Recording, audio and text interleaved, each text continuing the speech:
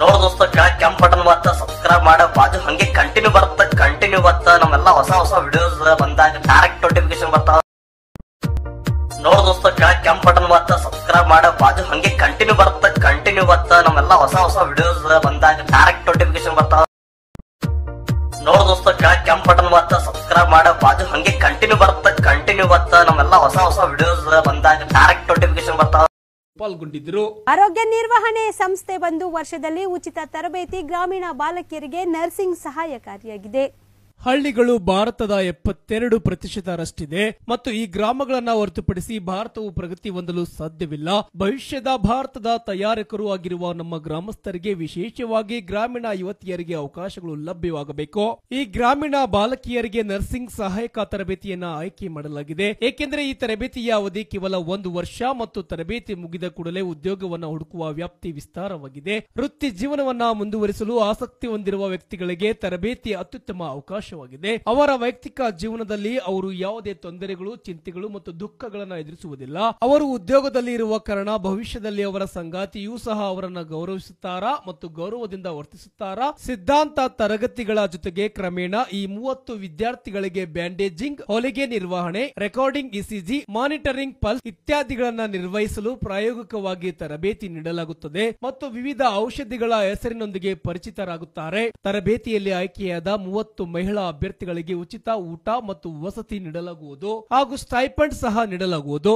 ಈ ಹುದ್ದೆಗೆ ಅರ್ಜಿ ಸಲ್ಲಿಸಲು ಹೆಚ್ಚಿನ ವಿವರಗಳಿಗಾಗಿ ಸರ್ಕಾರಿ ಮಾನ್ಯತೆ ಪಡೆದ ಸಂಸ್ಥೆಯು ಮಹಿಳೆಯರಿಗೆ ಉಚಿತ ಹೆಲ್ತ್ ಕೇರ್ ಅಸಿಸ್ಟೆಂಟ್ ತರಬೇತಿ ಕೊಟ್ಟು ಉದ್ಯೋಗ ಒದಗಿಸುತ್ತದೆ. ಹೆಚ್ಚಿನ ಮಾಹಿತಿಗಾಗಿ ಈ ಕೆಳಗಿನ ಸಂಖ್ಯೆಗಳಿಗೆ ಕರೆ ಮಾಡಿ. Eight seven double two five one five six five nine double nine zero one eight two one four six five. ಇಷ್ಟೊತ್ತು ನೀವು ನೋಡಿರೋದು ನ್ಯೂಸ್ ವಿತ್ ಕರ್ನಾಟಕ ಎಲ್ರಿಗೂ ನಮಸ್ಕಾರ. ಇನ್ ಮುಂದೆ ಯಾರಾದ್ರೂ ಆಕ್ಸಿಡೆಂಟ್ ಆದ್ರೆ, ದೊಡ್ಡ ದೊಡ್ಡ ಆರ್ ಡಿ ಬೆನ್ಸ್ ಕಾರ್ಗಳಲ್ಲಿ ಆಕ್ಸಿಡೆಂಟ್ ಆದ್ರೆ ಅಷ್ಟೇ ಅವ್ರ ಕುಟುಂಬಗಳು ನೆಮ್ಮದಿಯಾಗಿರುತ್ತೆ ಚಿಕ್ಕ ಚಿಕ್ಕ ಯಾವ್ದಾದ್ರು ಟೂ ವೀಲರ್ ಅಥವಾ ಕಾರ್ಗಳು ಅಂತ ಗಾಡಿಗಳಿಗೆ ಸಿಕ್ಕಿ ಏನಾದ್ರೂ ಆಕ್ಸಿಡೆಂಟ್ ಆದ್ರೆ, ಅವರ ಇಡೀ ಕುಟುಂಬ ಆಕ್ಸಿಡೆಂಟ್ ಆಗಿ ಯಾರು ಅಪಘಾತಕ್ಕೀಡಾಗಿರ್ತಾರೆ ಅಂತ ಕುಟುಂಬ ಬೀದಿಗೆ ಬೀಳುವಂತ ಪರಿಸ್ಥಿತಿ ಬರ್ತಾ ಇದೆ. ಯಾಕೆ ಅಂತ ಹೇಳ್ತೀರಾ? ಹಿಂದೆ ಇದ್ದಂತ ಮೋಟಾರ್ ವೆಹಿಕಲ್ ಆಕ್ಟ್ ಏನಿತ್ತು, ಸಾವಿರದ ಒಂಬೈನೂರ ಎಂಬತ್ತೆಂಟರಲ್ಲಿ ಮಾಡಿದಂತ ಆಕ್ಟ್ ಪ್ರಕಾರ ಅವತ್ತಿನ ಒಂದು ಆಕ್ಟ್ ಅಲ್ಲಿ ಏನಿತ್ತು ಅಂದ್ರೆ section one forty one forty seven one forty five one forty nine ಹಾಗೆ ಏನು ಒನ್ ಸಿಕ್ಸ್ಟಿ ತ್ರೀ ಎ, ಇದು ಇತ್ತೀಚಿನ ದಿನಗಳಲ್ಲಿ ಎರಡ್ ಸಾವಿರದ ಹತ್ತೊಂಬತ್ತರಲ್ಲಿ ಇತ್ತೀಚಿನ ದಿನಗಳಲ್ಲಿ ಅದನ್ನ ಕಾನೂನ ತಿದ್ದುಪಡಿ ಮಾಡಿದ್ದಾರೆ. ಏನಪ್ಪ ತಿದ್ದುಪಡಿ ಅಂತ ತಮ್ಗೆ ತಿಳಿಸಬೇಕು ಅಂತ ಈ ಒಂದು ವಿಡಿಯೋ ಮುಖಾಂತರ ಹೇಳ್ತಾ ಇದ್ದೀನಿ.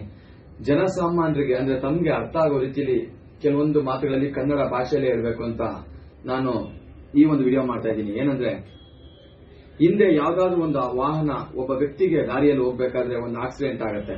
ಆಕ್ಸಿಡೆಂಟ್ ಆದಾಗ ಆತ ಏನೋ ಒಂದು ಮೃತನ ಆಗ್ತಾನೆ ಇಲ್ಲಾಂದ್ರೆ ಆತನಿಗೆ ಏನೋ ಒಂದು ದೇಹದಲ್ಲಿ ಏನೋ ಒಂದು ಕೈಯೋ, ಕಾಲೋ, ಏನೋ ಒಂದು ಅಕಸ್ಮಾತ್ ಮುರಿದೋದ್ರೆ, ಮತ್ತೊಂದಾದ್ರೆ, ಆತ ಏನಾದ್ರೂ ಮುಂದಿನ ದಿನಗಳಲ್ಲಿ ಆತ ಹಾಸ್ಪಿಟಲ್ ಸೇರಿದ್ರೆ ನೆಕ್ಸ್ಟ್ ಆತ ಕೋರ್ಟ್ ಹೋಗಿ ಕೋರ್ಟ್ನ ಮೊರೆ ಹೋಗಿ ಆತ ಏನಾದ್ರೂ ಕ್ಲೈಮ್ ಮಾಡಿದ್ರೆ, ಅವಾಗ ಏನಾಗುತ್ತೆ, ಅವ್ನ ಎಲ್ಲಾ ಡಾಕ್ಯುಮೆಂಟ್ಸ್ ಕರೆಕ್ಟ್ ಆಗಿದ್ದು ನ್ಯಾಯಾಲಯ ಏನಾದ್ರೂ ಒಂದು ಐವತ್ತು ಲಕ್ಷ.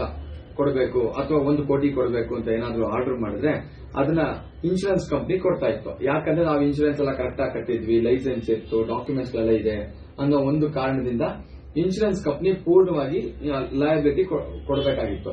ಆದ್ರೆ ಈಗ ಎರಡ್ ಸಾವಿರದ ಹತ್ತೊಂಬತ್ತರ ಕಾನೂನಿನ ಪ್ರಕಾರ ಈಗೇನ್ ತಿದ್ದುಪಡಿ ಮಾಡಿದ್ದಾರೆ ಆ ಕಾನೂನಿನ ಪ್ರಕಾರ ತಮ್ಗೆಲ್ಲ ಎಷ್ಟೋ ಜನಕ್ಕೆ ಮೆಡಿಕ್ಲೇಮ್ ಹೇಗೆ ಅಂತ ಗೊತ್ತಿದೆ. ನಾನೇನೋ ಒಂದು ಹತ್ತು ಸಾವಿರ ಫಾರ್ ಎಕ್ಸಾಂಪಲ್ ಹತ್ತು ಸಾವಿರ ರೂಪಾಯಿ ಕೊಟ್ಟು ನಾನು ಹತ್ತು ಲಕ್ಷ ರೂಪಾಯಿಗೆ ಒಂದು ಇನ್ಶೂರೆನ್ಸ್ ಮಾಡಿಸಿರ್ತೀನಿ. ಆಗ ಹತ್ತು ಲಕ್ಷ ರೂಪಾಯಿ ಏನ್ ನಾನು ಇನ್ಶೂರೆನ್ಸ್ ಮಾಡಿಸಿರ್ತೀನಿ. ಅಷ್ಟೇ ದುಡ್ಡು. ನಾನು ಆಕ್ಸಿಡೆಂಟ್ ಅಕಸ್ಮಾತ್ ನಾನು ದಾರಿಯಲ್ಲಿ ಹೋಗ್ಬೇಕಾದ್ರೆ ಒಂದು ಟೂ ವೀಲರ್ ಎತ್ಕೊಂಡು ನನಗೆ ಹೋಗ್ತಾ ಇರ್ತೀನಿ. ಟೂ ವೀಲರ್ ತಗೊಂಡು ಹೋಗ್ಬೇಕಾದ್ರೆ ನಾನು ಒಂದೂವರೆ ಸಾವಿರ ರೂಪಾಯಿ ಕೊಟ್ಬಿಟ್ಟು ಒಂದು ಇನ್ಶೂರೆನ್ಸ್ ಮಾಡಿಸಿರ್ತೀನಿ. ಅದು ಒಂದು ಮೂರು ಲಕ್ಷ ರೂಪಾಯಿ ಕವರ್ ಆಗಿರುತ್ತೆ.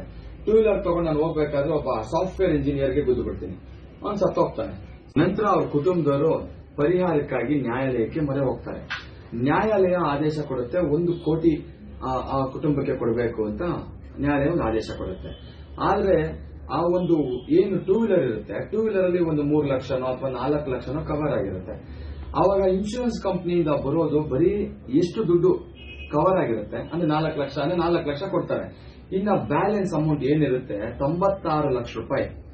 ಆ ವಾಹನದ ಮಾಲೀಕ ಕೊಡಬೇಕಾಗ್ತದೆ. ಯಾಕಂದ್ರೆ ಮುಂದಿನ ದಿನಗಳಲ್ಲಿ ಆ ತೊಂಬತ್ತಾರು ಲಕ್ಷಗಳಿಗೆ ಯಾರು ಆ ಕುಟುಂಬದವ್ರು ಏನ್ ಪರಿಹಾರ ಇರುತ್ತೆ, ಆ ದುಡ್ಡನ್ನ ರಿಕವರಿ ಮಾಡೋದಕ್ಕೆ ಅವರು ಓನರ್ ಮೇಲೆ ಹಾಕೊಬೇಕಾಗತ್ತೆ ಕೇಸನ್ನ. ಸೊ ಅದರಿಂದ ಆಗ್ತಕ್ಕಂಥ ಅನಾನುಕೂಲ ಏನು? ಒಂದು ಟೂ ವೀಲರ್ ಅಲ್ಲಿ ಇರ್ಬೋದು ಅಥವಾ ಕಾರ್ಗಳಿಗಿರ್ಬೋದು ಅಥವಾ ಟ್ರಾನ್ಸ್ಪೋರ್ಟ್ ವೆಹಿಕಲ್ಗಳಿರ್ಬೋದು ಪ್ರತಿಯೊಬ್ಬರು ಅಕಸ್ಮಾತ್ ಯಾರೋ ಒಬ್ರು ಮಾಡ್ತಕ್ಕಂಥ ನೆಗ್ಲಿಜೆನ್ಸಿ ಮತ್ತೊಂದು ಮತ್ತೊಂದ್ರಿಂದ ಒಂದು ಇನ್ಶೂರೆನ್ಸ್ ಕಂಪನಿಯವರು ಅಲ್ಲಿ ಎಷ್ಟು ಕವರ್ ಆಗುತ್ತೆ ಅಷ್ಟೇ ದುಡ್ಡು ಕೊಟ್ರೆ, ಆದ್ರೆ ಸತ್ತಂತ ವ್ಯಕ್ತಿಯವರು ಅಥವಾ ಅಪಘಾತಕ್ಕೀಡಾದಂತ ಯಾವುದೋ ಒಂದು ಕೈಯೋ ಕಾಲೋ ಹೋಗಿರ್ತಕ್ಕಂಥ ವ್ಯಕ್ತಿ ಮನೆ ಕುಟುಂಬದವರು ಅಥವಾ ಆ ವ್ಯಕ್ತಿ ಒಂದು ಕ್ಲೈಮ್ ಮಾಡಿದಂತ ಸಮಯದಲ್ಲಿ ಏನು ಇನ್ಸೂರೆನ್ಸ್ ಕಂಪನಿ ಇಷ್ಟು ಕಡಿಮೆ ದುಡ್ಡನ್ನ ಈ ತರ ಕೊಟ್ರೆ ಬ್ಯಾಲೆನ್ಸ್ ಎಲ್ಲ ಓನರ್ ಕೊಡಬೇಕು ಅಂದ್ರೆ ಒಂದು ಐವತ್ತು ಐವತ್ತು ಲಾರಿ ಇಟ್ಕೊಂಡಿರ್ತಕ್ಕಂಥ ಒಬ್ಬ ಟ್ರಾನ್ಸ್ಪೋರ್ಟರ್ ಬಗ್ಗೆ ಮಾತಾಡೋಣ. ಓ, ಇವತ್ತು ದೇಶದ ಒಂದು ಶಕ್ತಿ ಟ್ರಾನ್ಸ್ಪೋರ್ಟೇಷನ್ ಅನ್ನೋದು ದೇಶದ ಒಂದು ಶಕ್ತಿ. ಒಬ್ಬ ಟ್ರಾನ್ಸ್ಪೋರ್ಟರ್ ಒಂದು ಗಾಡಿ ಇಟ್ಕೊಂಡಿರ್ತಾನೆ ಅವ್ನು ಹೋಗ್ತಾ ಒಂದು ಡ್ರೈವರ್ ಹೋಗಿಲ್ಲ ಒಂದು ಆಕ್ಸಿಡೆಂಟ್ ಮಾಡ್ತಾನೆ. ಅಕಸ್ಮಾತ್ ಆಕ್ಸಿಡೆಂಟ್ ಮಾಡಿಬಿಟ್ಟು ಅಲ್ಲಿ ಯಾರೋ ಒಬ್ಬ ದೊಡ್ಡ ವ್ಯಕ್ತಿ ಅಥವಾ ಲಕ್ಷಾಂತರ ರೂಪಾಯಿ ಜೀವನದಲ್ಲಿ ಅರ್ನ್ ಮಾಡ್ತಾ ಇದ್ದಂತ ಒಬ್ಬ ವ್ಯಕ್ತಿ ಸತ್ತೋಗ್ಬಿಟ್ರೆ, ಆ ಟ್ರಾನ್ಸ್ಪೋರ್ಟ್ ಇಟ್ಟಿರುವಂತಹ ಮಾಲೀಕ ಒಂದು ವೆಹಿಕಲ್ಗೆ ಒಂದು ಇನ್ಶೂರೆನ್ಸ್ ಕಟ್ ಒಂದು ಹದಿನೈದು ಸಾವಿರ ರೂಪಾಯಿ ಅಥವಾ ಇಪ್ಪತ್ತು ಸಾವಿರ ರೂಪಾಯಿ ಇನ್ಶೂರೆನ್ಸ್ ಕಟ್ಟಿರ್ತಾನೆ. ಆ- ವಾಹನ ಕಡಿಮೆ ಅಂದ್ರೆ ಒಂದು ಏಳರಿಂದ ಎಂಟು ಲಕ್ಷ ರೂಪಾಯಿ ಇನ್ಶೂರೆನ್ಸ್ ಕವರ್ ಆಗಿರುತ್ತೆ. ಆ ಸತ್ತಂತ ಕುಟುಂಬದವರು ಎರಡು ಕೋಟಿನೋ, ಮೂರು ಕೋಟಿನೋ ಕ್ಲೈಮ್ ಹಾಕೊಳ್ತಾರೆ. ಅದೇನಾಗುತ್ತೆ? ಮೂರು ಕೋಟಿ ರೂಪಾಯಿ ನ್ಯಾಯಾಲಯದ ಮೊರೆ ಹೋಗ್ತಾರೆ ಮೂರು ಕೋಟಿ ರೂಪಾಯಿ ಕೋರ್ಟಲ್ಲಿ ಆರ್ಡರ್ ಆಗುತ್ತೆ. ಅಕಸ್ಮಾತ್ ಅವರು ಇನ್ಶೂರೆನ್ಸ್ ಕವರ್ ಆಗಿರ್ತಕ್ಕಂಥದ್ದು ಒಂದು ಇಪ್ಪತ್ತರಿಂದ ಮೂವತ್ತು ಲಕ್ಷ ದುಡ್ಡನ್ನ ಇನ್ಶೂರೆನ್ಸ್ ಇಂದ ಬರುತ್ತೆ. ಇನ್ನ ಬ್ಯಾಲೆನ್ಸ್ ಎರಡು ಕೋಟಿನೋ, ಎರಡೂವರೆ ಕೋಟಿನೋ ದುಡ್ಡನ್ನ ಆ ವಾಹನದ ಮಾಲೀಕ ಕೊಡ್ಬೇಕಾಗತ್ತೆ. ಏನು ವಾಹನದ ಮಾಲೀಕ ಎಲ್ಲಿ ಅದನ್ನ ಕೊಡ್ತಾನೆ ಇನ್ ಬ್ಯಾಲೆನ್ಸ್ ಐವತ್ತು ಗಾಡಿ ಮಾರ್ಬಿಟ್ಟು ಅವ್ನ ಕುಟುಂಬನ ಬೀದಿಗೆ ಹಾಕ್ಬಿಟ್ಟು ದುಡ್ಡನ್ನ ಕೊಡ್ಬೇಕಾಗತ್ತೆ. ಇವ್ರು ಏನ್ ಮಾಡ್ತಾ ಇದ್ದಾರೆ? ಇವತ್ತು ಏನ್ ಜನಕ್ಕೆ ಹೆಲ್ಪ್ ಮಾಡ್ತಾ ಇದ್ದಾರೆ? ಈಗಾಗಲೇ ಜನಗಳಲ್ಲಿ ಎಲ್ಲಿ ಎಷ್ಟೋ ಕೆಲವೊಂದು ಜಿ ಎಸ್ ಟಿಯಿಂದ ಹೊರೆ ಇದೆ. ಇವತ್ತು ಎಷ್ಟೋ ಕಾರ್ಖಾನೆಗಳು ಅಥವಾ ಟ್ರಾನ್ಸ್ಪೋರ್ಟರ್ಸ್ ಮಧ್ಯಮ ವರ್ಗದ ಜನರಿಗೆ ಜಿಎಸ್ಟಿ ಹೊರೆ ಆಗಿತ್ತು. ಆಯ್ತು, ಅದನ್ನೇಗೋ ಒಂದು ಒಂದು ನಾವು ಅದಕ್ಕೆ ಹೊಂದ್ಕೊಂಡು ಹೋಗ್ಬಿಡೋಣ ಅಂತ ಅನ್ಕೊಂಡ್ರೆ, ಈಗ ಇನ್ಶೂರೆನ್ಸ್ ಒಬ್ಬ ಸ್ಟೂಡೆಂಟ್ ಒಂದು ಗಾಡಿ ತಗೊಂಡು ಅಕಸ್ಮಾತ್ ಕಾಲೇಜ್ ಹೋಗ್ತಾ ಇರ್ತಾನೆ ಏನೋ ಹೆಚ್ಚು ಕಮ್ಮಿ ಮಾಡೋ ಒಂದು ಆಕ್ಸಿಡೆಂಟ್ ಆಗೋಗ್ಬಿಡುತ್ತೆ, ಯಾರಿಗೋ ಏನೋ ತೊಂದರೆ ಆಗೋಗ್ಬಿಡುತ್ತೆ. ತೊಂದರೆ ಆದಾಗ ಸ್ಟೂಡೆಂಟ್ ಅವ್ರಿಗೆ ಪರಿಹಾರನ, ಅವನ ಹೆಸರು ಗಾಡಿ ಇರ್ತೀವಿ ಪರಿಹಾರ ಎಲ್ಲಿ ತಂದು ಒಂದು ಬಡವನ ಹೆಸರು, ಕೂಲಿ ಮಾಡೋ ಹೆಸರು ಗಾಡಿಗಳಿರುತ್ತೆ ಇನ್ಶೂರೆನ್ಸ್ ಕಂಪನಿ ಅವ್ರು ದುಡ್ಡು ಕೊಡ್ಲಿಲ್ಲ ಅಂದ್ರೆ ಆ ಕೂಲಿ ಮಾಡೋ ದುಡ್ಡನ್ನು ಎಲ್ಲಿ ತಂದು ಕೊಡ್ತಾನೆ? ಇಲ್ಲ ದುಡ್ಡನ್ನು ತಂದು ಕೊಡ್ಬೇಕಲ್ಲ ಇನ್ನು ಜೈಲಿಗೆ ಹೋಗ್ಬೇಕಾ? ಈ ರೀತಿ ಮಾಡಿರ್ತಕ್ಕಂಥ ಕೇಂದ್ರ ಸರ್ಕಾರ ಏನ್ ಇವತ್ತು ಕಾನೂನು ಇದನ್ನು ಮಾಡಿದೆ? ಇದು ಇದು ಒಂದು ಒಂದು ರೀತಿಯಲ್ಲಿ ವೈಲೇಷನ್ ಆಫ್ ಹ್ಯೂಮನ್ ರೈಟ್ಸ್ ಆದ್ರೆ ಒಂದು ಒಂದು ರೀತಿಯ ಅವರು ಜನಗಳ ಮೇಲೆ ಏರ್ತಾ ಇರ್ತಕ್ಕಂಥ ಒಂದು ಒಂದು ಬಲವಂತವಾಗಿ ಏರ್ತಾ ಇರ್ತಕ್ಕಂಥ ಒಂದು ಇದು ಕಾನೂನು ಇದು. ಇದು ತಪ್ಪು, ಇದು ಈ ರೀತಿಯ ಕಾನೂನುಗಳನ್ನ ಈ ಕೂಡಲೇ ತೆಗೆದಾಕ್ಬೇಕು ಹಾಗೆ ಜನಸಾಮಾನ್ಯರು ಈ ರೀತಿಯ ಕಾನೂನುಗಳು ಆಗಿರ್ತಕ್ಕಂಥ ಜನಸಾಮಾನ್ಯರಿಗೆ ಗಮನಕ್ಕೆ ಬಂದಿಲ್ಲ. ಹಾಗಾಗಿ ಈ ಕೂಡಲೇ ಈ ಕೂಡಲೇ ಜನಸಾಮಾನ್ಯರು ಕೂಡ ಇರ್ಬೋದು, ಆದರೆ ಮತ್ತೆ ಎಲ್ಲ ರಾಜಕೀಯ ಪಕ್ಷಗಳು ಕೂಡ ಪಕ್ಷಾತೀತವಾಗಿ ಈ ಇದರ ಕಾನೂನಿನ ವಿರುದ್ಧವಾಗಿ ಹೋರಾಟ ಮಾಡಬೇಕು. ಇಲ್ಲ ಅಂದ್ರೆ ಮುಂದಿನ ದಿನಗಳಲ್ಲಿ ತುಂಬಾ ತೊಂದರೆ ಆಗತ್ತೆ. ಈ ಕಾನೂನ ಈ ಕೂಡಲೇ ಅತಿಶಯ ಒಂದು ಈ ಕೂಡಲೇ ಅಂದ್ರೆ ಒಂದು ಹತ್ತು ಹದಿನೈದು ಈ ಕಾನೂನು ತೆಗೆದಾಕ್ಬೇಕು. ಆಗ ಮಾತ್ರ ಜನಸಾಮಾನ್ಯರು ಬದುಕೋಕೆ ಸಾಧ್ಯ. ಯಾಕಂದ್ರೆ ಇಲ್ಲ ತುಂಬಾ ತೊಂದರೆ ಆಗತ್ತೆ. ಜನಸಾಮಾನ್ಯರು ಇವತ್ತು ಈ ದೇಶದಲ್ಲಿ ನಾವು, ಭಾರತದಲ್ಲಿ ಪ್ರಜೆಗಳೇ ಪ್ರಜೆಗಳಿಗೋಸ್ ಪ್ರಜೆಗಳಿಂದಲೇ ಪ್ರಜೆಗಳಿಗೋಸ್ಕರ ನಾವು ಬದುಕೋದು ಅಂತ ನಮ್ಮ ಕಾನೂನು ಏನು ನಮ್ಮ ಕಾನ್ಸ್ಟಿಟ್ಯೂಷನ್ ಏನ್ ಹೇಳುತ್ತೆ, ಆ ರೀತಿ ನಾವು ಇರಬೇಕು ಅನ್ನೋದಾದ್ರೆ ಇಂಥ ಈ ರೀತಿಯ ಜನಗಳಿಗೆ ತೊಂದರೆ ಕೊಡ್ತಕ್ಕಂಥ ಕಾನೂನುಗಳನ್ನ ಮಾಡಬಾರದು. ಈ ಕೂಡಲೇ ಆ ಕಾನೂನು ರದ್ದು ಮಾಡಬೇಕು ಅಂತ ಈ ಒಂದು ವಿಡಿಯೋ ಮುಖಾಂತರ ಕೇಳ್ಕೊಳ್ತೀನಿ. ಇದನ್ನ ಈ ವಿಡಿಯೋಗಳನ್ನ ನೋಡಾದ್ಮೇಲೆ ಜನಸಾಮಾನ್ಯರು ಇದು ಇದ್ರ ವಿರುದ್ಧವಾಗಿ ಪ್ರತಿಭಟಿಸಬೇಕು. ಈ ಕೂಡಲೇ ಕಾನೂನು ರದ್ದು ಮಾಡೋದಕ್ಕೆ ಹೋರಾಟ ಮಾಡಬೇಕು ಅಂತ. ಹಾಗೆ ಸಂಘಟನೆಗಳು ಕೂಡ. ಎಷ್ಟೋ ಸಂಘಟನೆಗಳು ಬೇಡದಿಲ್ದಿರೋ ವಿಚಾರಕ್ಕೆ ಎಲ್ಲ ಹೋರಾಟ ಮಾಡ್ತೀರಾ? ಆದ್ರೆ ಇಂಥ ವಿಚಾರಕ್ಕೆ ಹೋರಾಟ ಮಾಡಿ, ಇಂಥ ವಿಚಾರಗಳನ್ನ ಹೋರಾಟ ಮಾಡಿ ಸರ್ಕಾರಗಳನ್ನ ಕಣ್ತರಿಸುವಂತ ಕೆಲಸ ಮಾಡಬೇಕು ಅಂತ ಈ ವಿಡಿಯೋ ಮುಖಾಂತರ ಕೇಳ್ಕೊಂತೀನಿ. ಕಲ್ಪವೃಕ್ಷ ಆರೋಗ್ಯಧಾಮ ಹೆಲ್ತ್ ಕೇರ್ ಸೆಂಟರ್. ನಮ್ಮಲ್ಲಿ ಬುದ್ಧಿಮಾಂದ್ಯತೆ ಆಲ್ಝೈಮರ್ಸ್ ಪಾರ್ಕಿನ್ಸನ್ಸ್, ಮಾನಸಿಕ ಮತ್ತು ದೈಹಿಕ ಪುನರ್ವಸತಿ, ಪಾರ್ಶ್ವವಾಯು ಮುಂತಾದ ಸಮಸ್ಯೆಗಳಿಗೆ ವಾರದ ಎಲ್ಲಾ ದಿನಗಳಲ್ಲಿ ಚಿಕಿತ್ಸೆ ನೀಡಲಾಗುತ್ತದೆ. ಸುಂದರವಾದ ಪರಿಸರದಲ್ಲಿರುವ ನಮ್ಮ ಆರೋಗ್ಯ ಧಾಮವು ಸ್ವಚ್ಛ ಮತ್ತು ಉತ್ತಮವಾದ ಕೊಠಡಿಗಳನ್ನು ಹೊಂದಿದ್ದು ಶುಚಿಯಾದ ಊಟ, ವಸತಿಯ ವ್ಯವಸ್ಥೆ ಇದೆ. ನಿಮ್ಮೆಲ್ಲ ಸಮಸ್ಯೆಗಳಿಗೆ ನಮ್ಮಲ್ಲಿದೆ ಉತ್ತಮ ಪರಿಹಾರ. Kalpavriksha Arogyadhama health care centre. Kengeri, Mysuru road ಮತ್ತು ring road, Banaswadi. Mobile number nine four eight three three four two six nine five. Nine six three two nine eight three six nine five. Nine four four eight two four four six nine five.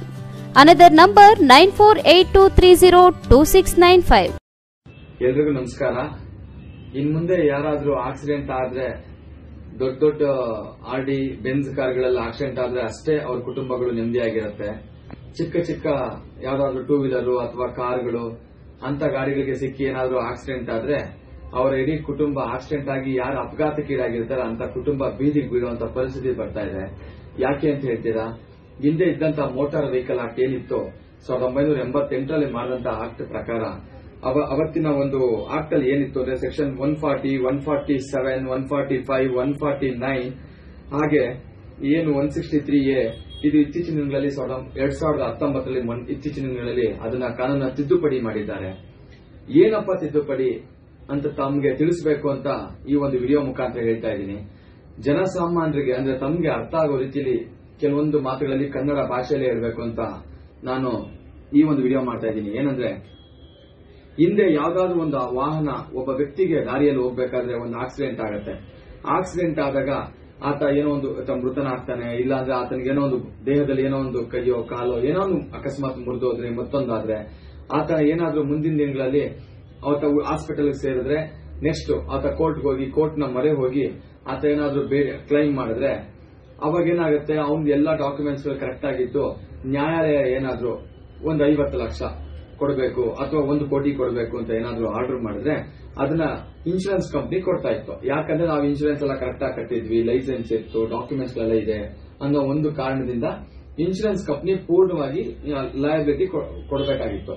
ಆದ್ರೆ ಈಗ ಎರಡ್ ಸಾವಿರದ ಹತ್ತೊಂಬತ್ತರ ಕಾನೂನಿನ ಪ್ರಕಾರ ಈಗೇನ್ ತಿದ್ದುಪಡಿ ಮಾಡಿದ್ದಾರೆ? ಆ ಕಾನೂನಿನ ಪ್ರಕಾರ ತಮ್ಗೆಲ್ಲ ಎಷ್ಟೋ ಜನಕ್ಕೆ ಮೆಡಿಕ್ಲೇಮ್ ಹೇಗೆ ಅಂತ ಗೊತ್ತಿದೆ.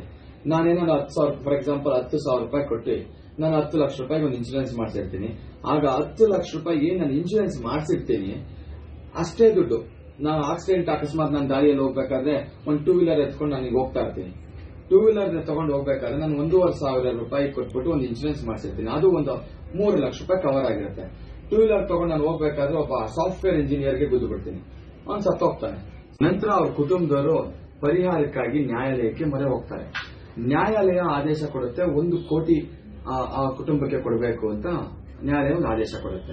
ಆದ್ರೆ ಆ ಒಂದು ಏನು ಟೂ ವೀಲರ್ ಇರುತ್ತೆ ಟೂ ವೀಲರ್ ಅಲ್ಲಿ ಒಂದು ಮೂರು ಲಕ್ಷನೋ ಅಥವಾ ನಾಲ್ಕು ಲಕ್ಷನೋ ಕವರ್ ಆಗಿರುತ್ತೆ. ಆವಾಗ ಇನ್ಶೂರೆನ್ಸ್ ಕಂಪ್ನಿಯಿಂದ ಬರೋದು ಬರೀ ಎಷ್ಟು ದುಡ್ಡು ಕವರ್ ಆಗಿರುತ್ತೆ. ಅಂದ್ರೆ ನಾಲ್ಕು ಲಕ್ಷ, ಅಂದ್ರೆ ನಾಲ್ಕು ಲಕ್ಷ ಕೊಡ್ತಾರೆ. ಇನ್ನ ಬ್ಯಾಲೆನ್ಸ್ ಅಮೌಂಟ್ ಏನಿರುತ್ತೆ, ತೊಂಬತ್ತಾರು ಲಕ್ಷ ರೂಪಾಯಿ. ಆ ವಾಹನದ ಮಾಲೀಕ ಕೊಡಬೇಕಾಗ್ತದೆ. ಯಾಕಂದ್ರೆ ಮುಂದಿನ ದಿನಗಳಲ್ಲಿ ಆ ತೊಂಬತ್ತಾರು ಲಕ್ಷಗಳಿಗೆ ಯಾರು ಆ ಕುಟುಂಬದವ್ರು ಏನ್ ಪರಿಹಾರ ಇರುತ್ತೆ, ಆ ದುಡ್ಡನ್ನ ರಿಕವರಿ ಮಾಡೋದಕ್ಕೆ ಅವರು ಓನರ್ ಮೇಲೆ ಹಾಕೊಬೇಕಾಗತ್ತೆ ಕೇಸನ್ನ. ಸೊ ಅದರಿಂದ ಆಗ್ತಕ್ಕಂಥ ಅನಾನುಕೂಲ ಏನು? ಒಂದು ಟೂ ವೀಲರ್ ಅಲ್ಲಿ ಇರ್ಬೋದು, ಅಥವಾ ಕಾರ್ಗಳಿಗಿರ್ಬೋದು ಅಥವಾ ಟ್ರಾನ್ಸ್ಪೋರ್ಟ್ ವೆಹಿಕಲ್ಗಳಿರ್ಬೋದು ಪ್ರತಿಯೊಬ್ಬರು ಅಕಸ್ಮಾತ್ ಯಾರೋ ಒಬ್ರು ಮಾಡ್ತಕ್ಕಂಥ ನೆಗ್ಲಿಜೆನ್ಸಿ ಮತ್ತೊಂದು ಮತ್ತೊಂದ್ರಿಂದ ಒಂದು ಇನ್ಶೂರೆನ್ಸ್ ಕಂಪನಿಯವರು ಅಲ್ಲಿ ಎಷ್ಟು ಕವರ್ ಆಗುತ್ತೆ ಅಷ್ಟೇ ದುಡ್ಡು ಕೊಟ್ರೆ ಆದ್ರೆ ಸತ್ತಂತ ವ್ಯಕ್ತಿಯವರು ಅಥವಾ ಅಪಘಾತಕ್ಕೀಡಾದಂತ ಯಾವುದೋ ಒಂದು ಕಾಯಿಯೋ ಕಾಲೋ ಹೋಗಿರ್ತಕ್ಕಂಥ ವ್ಯಕ್ತಿ ಮನೆ ಕುಟುಂಬದವರು ಅಥವಾ ಆ ವ್ಯಕ್ತಿ ಒಂದು ಕ್ಲೈಮ್ ಮಾಡಿದಂತ ಸಮಯದಲ್ಲಿ ಏನು ಇನ್ಸೂರೆನ್ಸ್ ಕಂಪನಿ ಇಷ್ಟು ಕಡಿಮೆ ದುಡ್ಡನ್ನ ಈ ತರ ಕೊಟ್ರೆ ಬ್ಯಾಲೆನ್ಸ್ ಎಲ್ಲ ಓನರ್ ಕೊಡಬೇಕು ಅಂದ್ರೆ ಒಂದು ಐವತ್ತು ಐವತ್ತು ಲಾರಿ ಇಟ್ಕೊಂಡಿರ್ತಕ್ಕಂಥ ಒಬ್ಬ ಟ್ರಾನ್ಸ್ಪೋರ್ಟರ್ ಬಗ್ಗೆ ಮಾತಾಡೋಣ. ಓ, ಇವತ್ತು ದೇಶದ ಒಂದು ಶಕ್ತಿ ಟ್ರಾನ್ಸ್ಪೋರ್ಟೇಷನ್ ಅನ್ನೋದು ದೇಶದ ಒಂದು ಶಕ್ತಿ. ಒಬ್ಬ ಟ್ರಾನ್ಸ್ಪೋರ್ಟರ್ ಒಂದು ಗಾಡಿ ಇಟ್ಕೊಂಡಿರ್ತಾನೆ ಅವ್ನು ಹೋಗ್ತಾ ಒಂದು ಡ್ರೈವರ್ ಹೋಗಿಲ್ಲ ಒಂದು ಆಕ್ಸಿಡೆಂಟ್ ಮಾಡ್ತಾನೆ. ಅಕಸ್ಮಾತ್ ಆಕ್ಸಿಡೆಂಟ್ ಮಾಡಿಬಿಟ್ಟು ಅಲ್ಲಿ ಯಾರೋ ಒಬ್ಬ ದೊಡ್ಡ ವ್ಯಕ್ತಿ ಅಥವಾ ಲಕ್ಷಾಂತರ ರೂಪಾಯಿ ಜೀವನದಲ್ಲಿ ಅರ್ನ್ ಮಾಡ್ತಾ ಇದ್ದಂತ ಒಬ್ಬ ವ್ಯಕ್ತಿ ಸತ್ತೋಗ್ಬಿಟ್ರೆ, ಆ ಟ್ರಾನ್ಸ್ಪೋರ್ಟ್ ಇಟ್ಟಿರುವಂತ ಮಾಲೀಕ ಒಂದು ವೆಹಿಕಲ್ಗೆ ಒಂದು ಇನ್ಶೂರೆನ್ಸ್ ಕಟ್ ಒಂದು ಹದಿನೈದು ಸಾವಿರ ರೂಪಾಯಿ ಅಥವಾ ಇಪ್ಪತ್ತು ಸಾವಿರ ರೂಪಾಯಿ ಇನ್ಶೂರೆನ್ಸ್ ಕಟ್ಟಿರ್ತಾನೆ. ಆ- ವಾಹನ ಕಡಿಮೆ ಅಂದ್ರೆ ಒಂದು ಏಳರಿಂದ ಎಂಟು ಲಕ್ಷ ರೂಪಾಯಿ ಇನ್ಶೂರೆನ್ಸ್ ಕವರ್ ಆಗಿರುತ್ತೆ. ಆ ಸತ್ತಂತ ಕುಟುಂಬದವರು ಎರಡು ಕೋಟಿನೋ, ಮೂರು ಕೋಟಿನೋ ಕ್ಲೈಮ್ ಹಾಕೊಳ್ತಾರೆ. ಅದೇನಾಗುತ್ತೆ? ಮೂರು ಕೋಟಿ ರೂಪಾಯಿ ನ್ಯಾಯಾಲಯದ ಮೊರೆ ಹೋಗ್ತಾರೆ, ಮೂರು ಕೋಟಿ ರೂಪಾಯಿ ಕೋರ್ಟಲ್ಲಿ ಆರ್ಡರ್ ಆಗುತ್ತೆ. ಅಕಸ್ಮಾತ್ ಅವರು ಇನ್ಶೂರೆನ್ಸ್ ಕವರ್ ಆಗಿರ್ತಕ್ಕಂಥದ್ದು ಒಂದು ಇಪ್ಪತ್ತರಿಂದ ಮೂವತ್ತು ಲಕ್ಷ ದುಡ್ಡನ್ನ ಇನ್ಶೂರೆನ್ಸ್ ಇಂದ ಬರುತ್ತೆ. ಇನ್ನು ಬ್ಯಾಲೆನ್ಸ್ ಎರಡು ಕೋಟಿನೋ, ಎರಡೂವರೆ ಕೋಟಿನೋ ದುಡ್ಡನ್ನ ಆ ವಾಹನದ ಮಾಲೀಕ ಕೊಡ್ಬೇಕಾಗತ್ತೆ. ಏನು ವಾಹನದ ಮಾಲೀಕ ಎಲ್ಲಿ ಅದನ್ನು ಕೊಡ್ತಾನೆ? ಇನ್ ಬ್ಯಾಲೆನ್ಸ್ ಐವತ್ತು ಗಾಡಿ ಮಾರ್ಬಿಟ್ಟು ಅವ್ನ ಕುಟುಂಬನ ಬೀದಿಗೆ ಹಾಕ್ಬಿಟ್ಟು ದುಡ್ಡನ್ನ ಕೊಡ್ಬೇಕಾಗತ್ತೆ. ಇವ್ರು ಏನ್ ಮಾಡ್ತಾ ಇದ್ದಾರೆ ಇವತ್ತು ಏನ್ ಜನಕ್ಕೆ ಹೆಲ್ಪ್ ಮಾಡ್ತಾ ಇದ್ದಾರೆ ಈಗಾಗಲೇ ಜನಗಳಲ್ಲಿ ಎಲ್ಲಿ ಎಷ್ಟೋ ಕೆಲವೊಂದು ಜಿ ಎಸ್ ಇಂದ ಹೊರೆ ಇದೆ. ಇವತ್ತು ಎಷ್ಟೋ ಕಾರ್ಖಾನೆಗಳು ಅಥವಾ ಟ್ರಾನ್ಸ್ಪೋರ್ಟರ್ಸ್ ಮಧ್ಯಮ ವರ್ಗದ ಜನರಿಗೆ ಜಿ ಎಸ್ ಟಿ ಹೊರೆ ಆಗಿತ್ತು. ಆಯ್ತು ಅದನ್ನೇಗೋ ಒಂದು ಒಂದು ನಾವು ಅದಕ್ಕೆ ಹೊಂದ್ಕೊಂಡು ಹೋಗ್ಬಿಡೋಣ ಅಂತ ಅನ್ಕೊಂಡ್ರೆ, ಈಗ ಇನ್ಶೂರೆನ್ಸ್ ಒಬ್ಬ ಸ್ಟೂಡೆಂಟ್ ಒಂದು ಗಾಡಿ ತಗೊಂಡು ಅಕಸ್ಮಾತ್ ಕಾಲೇಜ್ ಹೋಗ್ತಾ ಇರ್ತಾನೆ, ಏನೋ ಹೆಚ್ಚು ಕಮ್ಮಿ ಮಾಡಿ ಒಂದು ಆಕ್ಸಿಡೆಂಟ್ ಆಗೋಗ್ಬಿಡುತ್ತೆ ಯಾರಿಗೋ ಏನೋ ತೊಂದರೆ ಆಗೋಗ್ಬಿಡುತ್ತೆ ತೊಂದರೆ ಆದಾಗ ಸ್ಟೂಡೆಂಟ್ ಅವರಿಗೆ ಪರಿಹಾರನ ಅವನ ಹೆಸರು ಗಾಡಿ ಇರುತ್ತೆ. ಪರಿಹಾರ ಎಲ್ಲಿ ತಂದು ಕೊಡ್ತಾನೆ ಒಂದು ಬಡವನ ಹೆಸರು ಕೂಲಿ ಮಾಡೋರ ಹೆಸರು ಗಾಡಿಗಳಿರುತ್ತೆ ಇನ್ಶೂರೆನ್ಸ್ ಕಂಪನಿ ಅವ್ರು ದುಡ್ಡು ಕೊಡ್ಲಿಲ್ಲ ಅಂದ್ರೆ ಆ ಕೂಲಿ ಮಾಡೋ ದುಡ್ಡನ್ನು ಎಲ್ಲಿ ತಂದು ಕೊಡ್ತಾನೆ? ಇಲ್ಲ ದುಡ್ಡನ್ನು ತಂದು ಕೊಡ್ಬೇಕಲ್ಲ ಇನ್ನು ಜೈಲಿಗೆ ಹೋಗ್ಬೇಕಾ? ಈ ರೀತಿ ಮಾಡಿರ್ತಕ್ಕಂಥ ಕೇಂದ್ರ ಸರ್ಕಾರ ಏನ್ ಇವತ್ತು ಕಾನೂನು ಇದನ್ನು ಮಾಡಿದೆ? ಇದು ಇದು ಒಂದು ಒಂದು ರೀತಿಯಲ್ಲಿ ವೈಲೇಷನ್ ಆಫ್ ಹ್ಯೂಮನ್ ರೈಟ್ಸ್ ಆದ್ರೆ ಒಂದು ಒಂದು ರೀತಿಯ ಅವರು ಜನಗಳ ಮೇಲೆ ಏರ್ತಾ ಇರ್ತಕ್ಕಂಥ ಒಂದು ಒಂದು ಬಲವಂತವಾಗಿ ಏರ್ತಾ ಇರ್ತಕ್ಕಂಥ ಒಂದು ಇದು ಕಾನೂನು ಇದು ಇದು ತಪ್ಪು, ಇದು ಈ ರೀತಿಯ ಕಾನೂನುಗಳನ್ನ ಈ ಕೂಡಲೇ ತೆಗೆದಾಕ್ಬೇಕು. ಹಾಗೆ ಜನಸಾಮಾನ್ಯರು ಈ ರೀತಿಯ ಕಾನೂನುಗಳು ಆಗಿರ್ತಕ್ಕಂಥ ಜನಸಾಮಾನ್ಯರಿಗೆ ಗಮನಕ್ಕೆ ಬಂದಿಲ್ಲ. ಹಾಗಾಗಿ ಈ ಕೂಡಲೇ ಈ ಕೂಡಲೇ ಜನಸಾಮಾನ್ಯರು ಕೂಡ ಇರ್ಬೋದು, ಆದ್ರೆ ಮತ್ತೆ ಎಲ್ಲ ರಾಜಕೀಯ ಪಕ್ಷಗಳು ಕೂಡ ಪಕ್ಷಾತೀತವಾಗಿ ಈ ಇದರ ಕಾನೂನಿನ ವಿರುದ್ಧವಾಗಿ ಹೋರಾಟ ಮಾಡಬೇಕು. ಇಲ್ಲ ಅಂದ್ರೆ ಮುಂದಿನ ದಿನಗಳಲ್ಲಿ ತುಂಬಾ ತೊಂದರೆ ಆಗತ್ತೆ. ಈ ಕಾನೂನ ಈ ಕೂಡಲೇ ಅತಿಶಯ ಅತಿ ಒಂದು ಈ ಕೂಡಲೇ ಅಂದ್ರೆ ಒಂದು ಹತ್ತು ಹದಿನೈದು ದಿವಸಗಳಾಗಿ ಈ ಕಾನೂನನ್ನು ತೆಗೆದಾಕಬೇಕು. ಆಗ ಮಾತ್ರ ಜನಸಾಮಾನ್ಯರು ಬದುಕೋಕೆ ಸಾಧ್ಯ. ಯಾಕಂದ್ರೆ ಇಲ್ಲ ತುಂಬಾ ತೊಂದರೆ ಆಗತ್ತೆ. ಜನಸಾಮಾನ್ಯರು ಇವತ್ತು ಈ ದೇಶದಲ್ಲಿ ನಾವು, ಭಾರತದಲ್ಲಿ ಪ್ರಜೆಗಳೇ ಪ್ರಜೆಗಳಿಗೋಸ್, ಪ್ರಜೆಗಳಿಂದಲೇ ಪ್ರಜೆಗಳಿಗೋಸ್ಕರ ನಾವು ಬದುಕೋದು ಅಂತ ನಮ್ಮ ಕಾನೂನು ಏನು, ನಮ್ಮ ಕಾನ್ಸ್ಟಿಟ್ಯೂಷನ್ ಏನ್ ಹೇಳುತ್ತೆ, ಆ ರೀತಿ ನಾವು ಇರಬೇಕು ಅನ್ನೋದಾದ್ರೆ ಇಂಥ ಈ ರೀತಿಯ ಜನಗಳಿಗೆ ತೊಂದರೆ ಕೊಡ್ತಕ್ಕಂಥ ಕಾನೂನುಗಳನ್ನ ಮಾಡಬಾರದು. ಈ ಕೂಡಲೇ ಆ ಕಾನೂನು ರದ್ದು ಮಾಡಬೇಕು ಅಂತ ಈ ಒಂದು ವಿಡಿಯೋ ಮುಖಾಂತರ ಕೇಳ್ಕೊಳ್ತೀನಿ. ಇದನ್ನ ಈ ವಿಡಿಯೋಗಳನ್ನ ನೋಡಾದ್ಮೇಲೆ ಜನಸಾಮಾನ್ಯರು ಇದು ಇದ್ರ ವಿರುದ್ಧವಾಗಿ ಪ್ರತಿಭಟಿಸಬೇಕು. ಈ ಕೂಡಲೇ ಕಾನೂನು ರದ್ದು ಮಾಡೋದಕ್ಕೆ ಹೋರಾಟ ಮಾಡಬೇಕು ಅಂತ. ಹಾಗೆ ಸಂಘಟನೆಗಳು ಕೂಡ. ಎಷ್ಟೋ ಸಂಘಟನೆಗಳು ಬೇಡದಿಲ್ದಿರೋ ವಿಚಾರಕ್ಕೆ ಎಲ್ಲ ಹೋರಾಟ ಮಾಡ್ತೀರಾ? ಆದ್ರೆ ಇಂಥ ವಿಚಾರಕ್ಕೆ ಹೋರಾಟ ಮಾಡಿ, ಇಂಥ ವಿಚಾರಗಳನ್ನ ಹೋರಾಟ ಮಾಡಿ ಸರ್ಕಾರಗಳನ್ನ ಕಣ್ತರಿಸುವಂತ ಕೆಲಸ ಮಾಡಬೇಕು ಅಂತ ಈ ವಿಡಿಯೋ ಮುಖಾಂತರ ಕೇಳ್ಕೊಂತೀನಿ. ಪಾಲ್ಗೊಂಡಿದ್ದರು. ಆರೋಗ್ಯ ನಿರ್ವಹಣೆ ಸಂಸ್ಥೆ ಒಂದು ವರ್ಷದಲ್ಲಿ ಉಚಿತ ತರಬೇತಿ ಗ್ರಾಮೀಣ ಬಾಲಕಿಯರಿಗೆ ನರ್ಸಿಂಗ್ ಸಹಾಯಕಾರಿಯಾಗಿದೆ.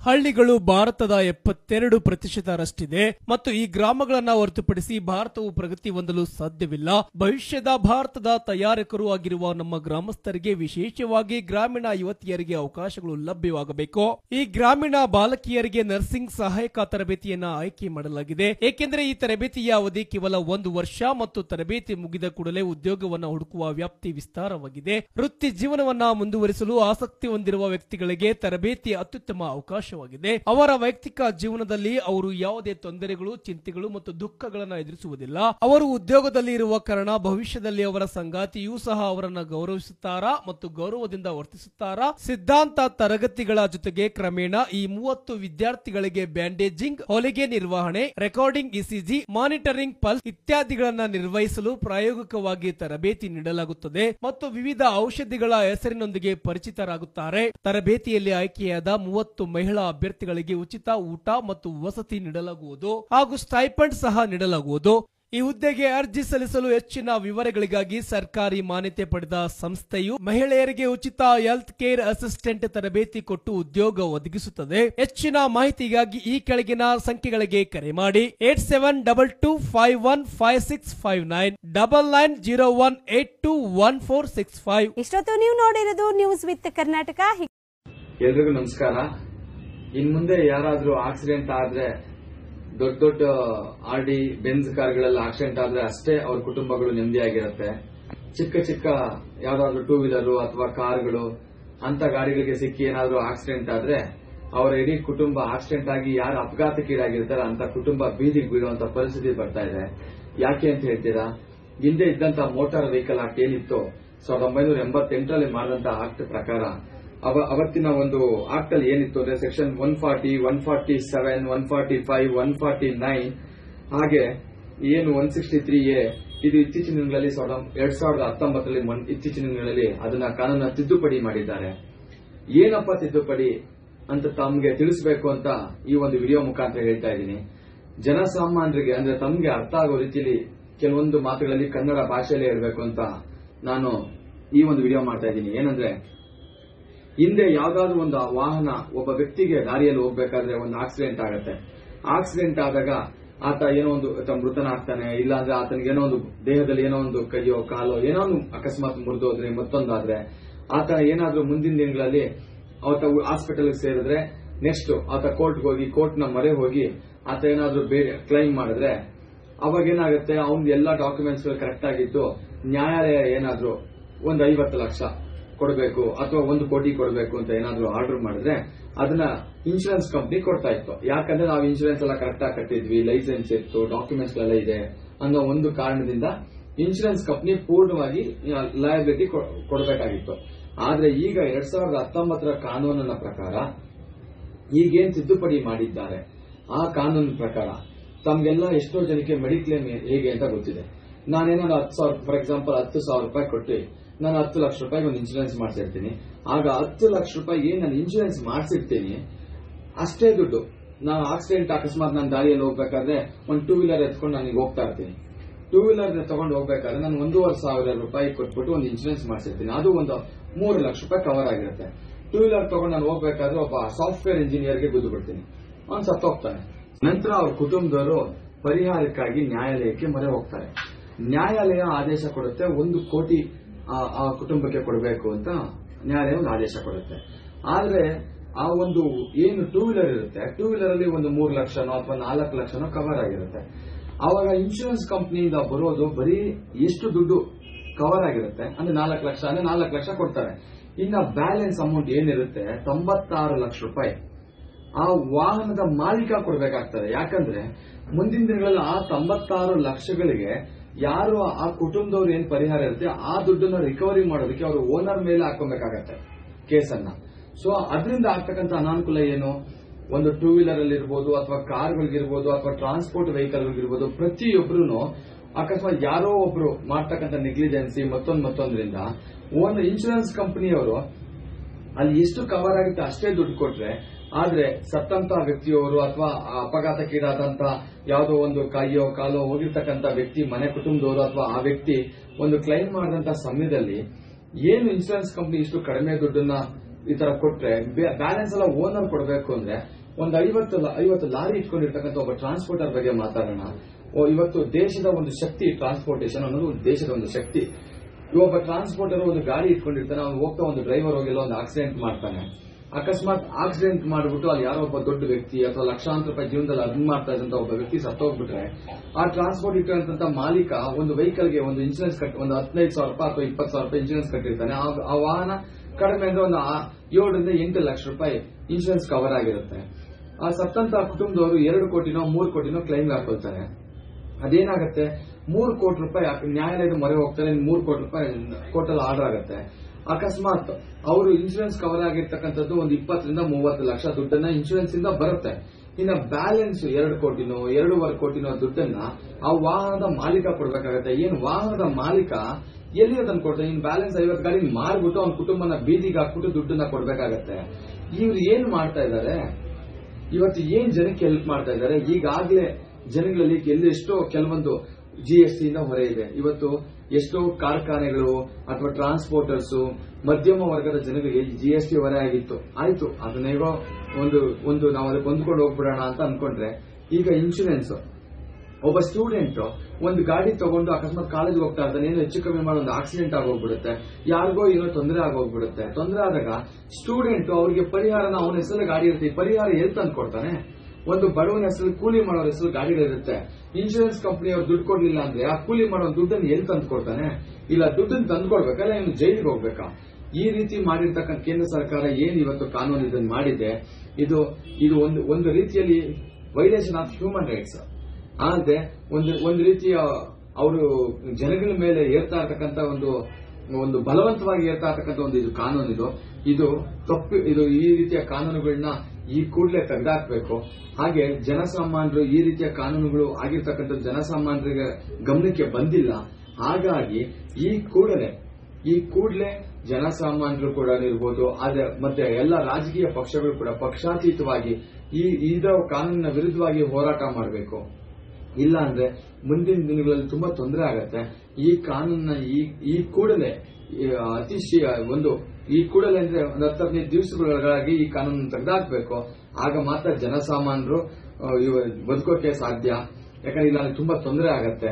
ಜನಸಾಮಾನ್ಯರು ಇವತ್ತು ಈ ದೇಶದಲ್ಲಿ ನಾವು, ಭಾರತದಲ್ಲಿ ಪ್ರಜೆಗಳೇ ಪ್ರಜೆಗಳಿಗೋಸ್ ಪ್ರಜೆಗಳಿಂದಲೇ ಪ್ರಜೆಗಳಿಗೋಸ್ಕರ ನಾವು ಬದುಕೋದು ಅಂತ ನಮ್ಮ ಕಾನೂನು ಏನು, ನಮ್ಮ ಕಾನ್ಸ್ಟಿಟ್ಯೂಷನ್ ಏನ್ ಹೇಳುತ್ತೆ, ಆ ರೀತಿ ನಾವು ಇರಬೇಕು ಅನ್ನೋದಾದ್ರೆ ಇಂಥ ಈ ರೀತಿಯ ಜನಗಳಿಗೆ ತೊಂದರೆ ಕೊಡ್ತಕ್ಕಂಥ ಕಾನೂನುಗಳನ್ನ ಮಾಡಬಾರ್ದು. ಈ ಕೂಡಲೇ ಆ ಕಾನೂನು ರದ್ದು ಮಾಡಬೇಕು ಅಂತ ಈ ಒಂದು ವಿಡಿಯೋ ಮುಖಾಂತರ ಕೇಳ್ಕೊಳ್ತೀನಿ. ಇದನ್ನ ಈ ವಿಡಿಯೋಗಳನ್ನ ನೋಡಾದ್ಮೇಲೆ ಜನಸಾಮಾನ್ಯರು ಇದು ಇದ್ರ ವಿರುದ್ಧವಾಗಿ ಪ್ರತಿಭಟಿಸಬೇಕು. ಈ ಕೂಡಲೇ ಕಾನೂನು ರದ್ದು ಮಾಡೋದಕ್ಕೆ ಹೋರಾಟ ಮಾಡಬೇಕು ಅಂತ. ಹಾಗೆ ಸಂಘಟನೆಗಳು ಕೂಡ. ಎಷ್ಟೋ ಸಂಘಟನೆಗಳು ಬೇಡದಿಲ್ದಿರೋ ವಿಚಾರಕ್ಕೆ ಎಲ್ಲ ಹೋರಾಟ ಮಾಡ್ತೀರಾ? ಆದ್ರೆ ಇಂಥ ವಿಚಾರಕ್ಕೆ ಹೋರಾಟ ಮಾಡಿ, ಇಂಥ ವಿಚಾರಗಳನ್ನ ಹೋರಾಟ ಮಾಡಿ ಸರ್ಕಾರಗಳನ್ನ ಕಣ್ತರಿಸುವಂತ ಕೆಲಸ ಮಾಡಬೇಕು ಅಂತ ಈ ವಿಡಿಯೋ ಮುಖಾಂತರ ಕೇಳ್ಕೊಂತೀನಿ. ಕಲ್ಪವೃಕ್ಷ ಆರೋಗ್ಯಧಾಮ ಹೆಲ್ತ್ ಕೇರ್ ಸೆಂಟರ್. ನಮ್ಮಲ್ಲಿ ಬುದ್ಧಿಮಾಂದ್ಯತೆ, ಆಲ್ಝೈಮರ್ಸ್, ಪಾರ್ಕಿನ್ಸನ್ಸ್, ಮಾನಸಿಕ ಮತ್ತು ದೈಹಿಕ ಪುನರ್ವಸತಿ, ಪಾರ್ಶ್ವವಾಯು ಮುಂತಾದ ಸಮಸ್ಯೆಗಳಿಗೆ ವಾರದ ಎಲ್ಲಾ ದಿನಗಳಲ್ಲಿ ಚಿಕಿತ್ಸೆ ನೀಡಲಾಗುತ್ತದೆ. ಸುಂದರವಾದ ಪರಿಸರದಲ್ಲಿರುವ ನಮ್ಮ ಆರೋಗ್ಯ ಧಾಮವು ಸ್ವಚ್ಛ ಮತ್ತು ಉತ್ತಮವಾದ ಕೊಠಡಿಗಳನ್ನು ಹೊಂದಿದ್ದು ಶುಚಿಯಾದ ಊಟ, ವಸತಿಯ ವ್ಯವಸ್ಥೆ ಇದೆ. ನಿಮ್ಮೆಲ್ಲ ಸಮಸ್ಯೆಗಳಿಗೆ ನಮ್ಮಲ್ಲಿದೆ ಉತ್ತಮ ಪರಿಹಾರ. Kalpavriksha Arogyadhama health care centre. Kengeri, Mysuru road ಮತ್ತು ring road, Banaswadi. Mobile number nine four eight three three four two six nine five. Nine six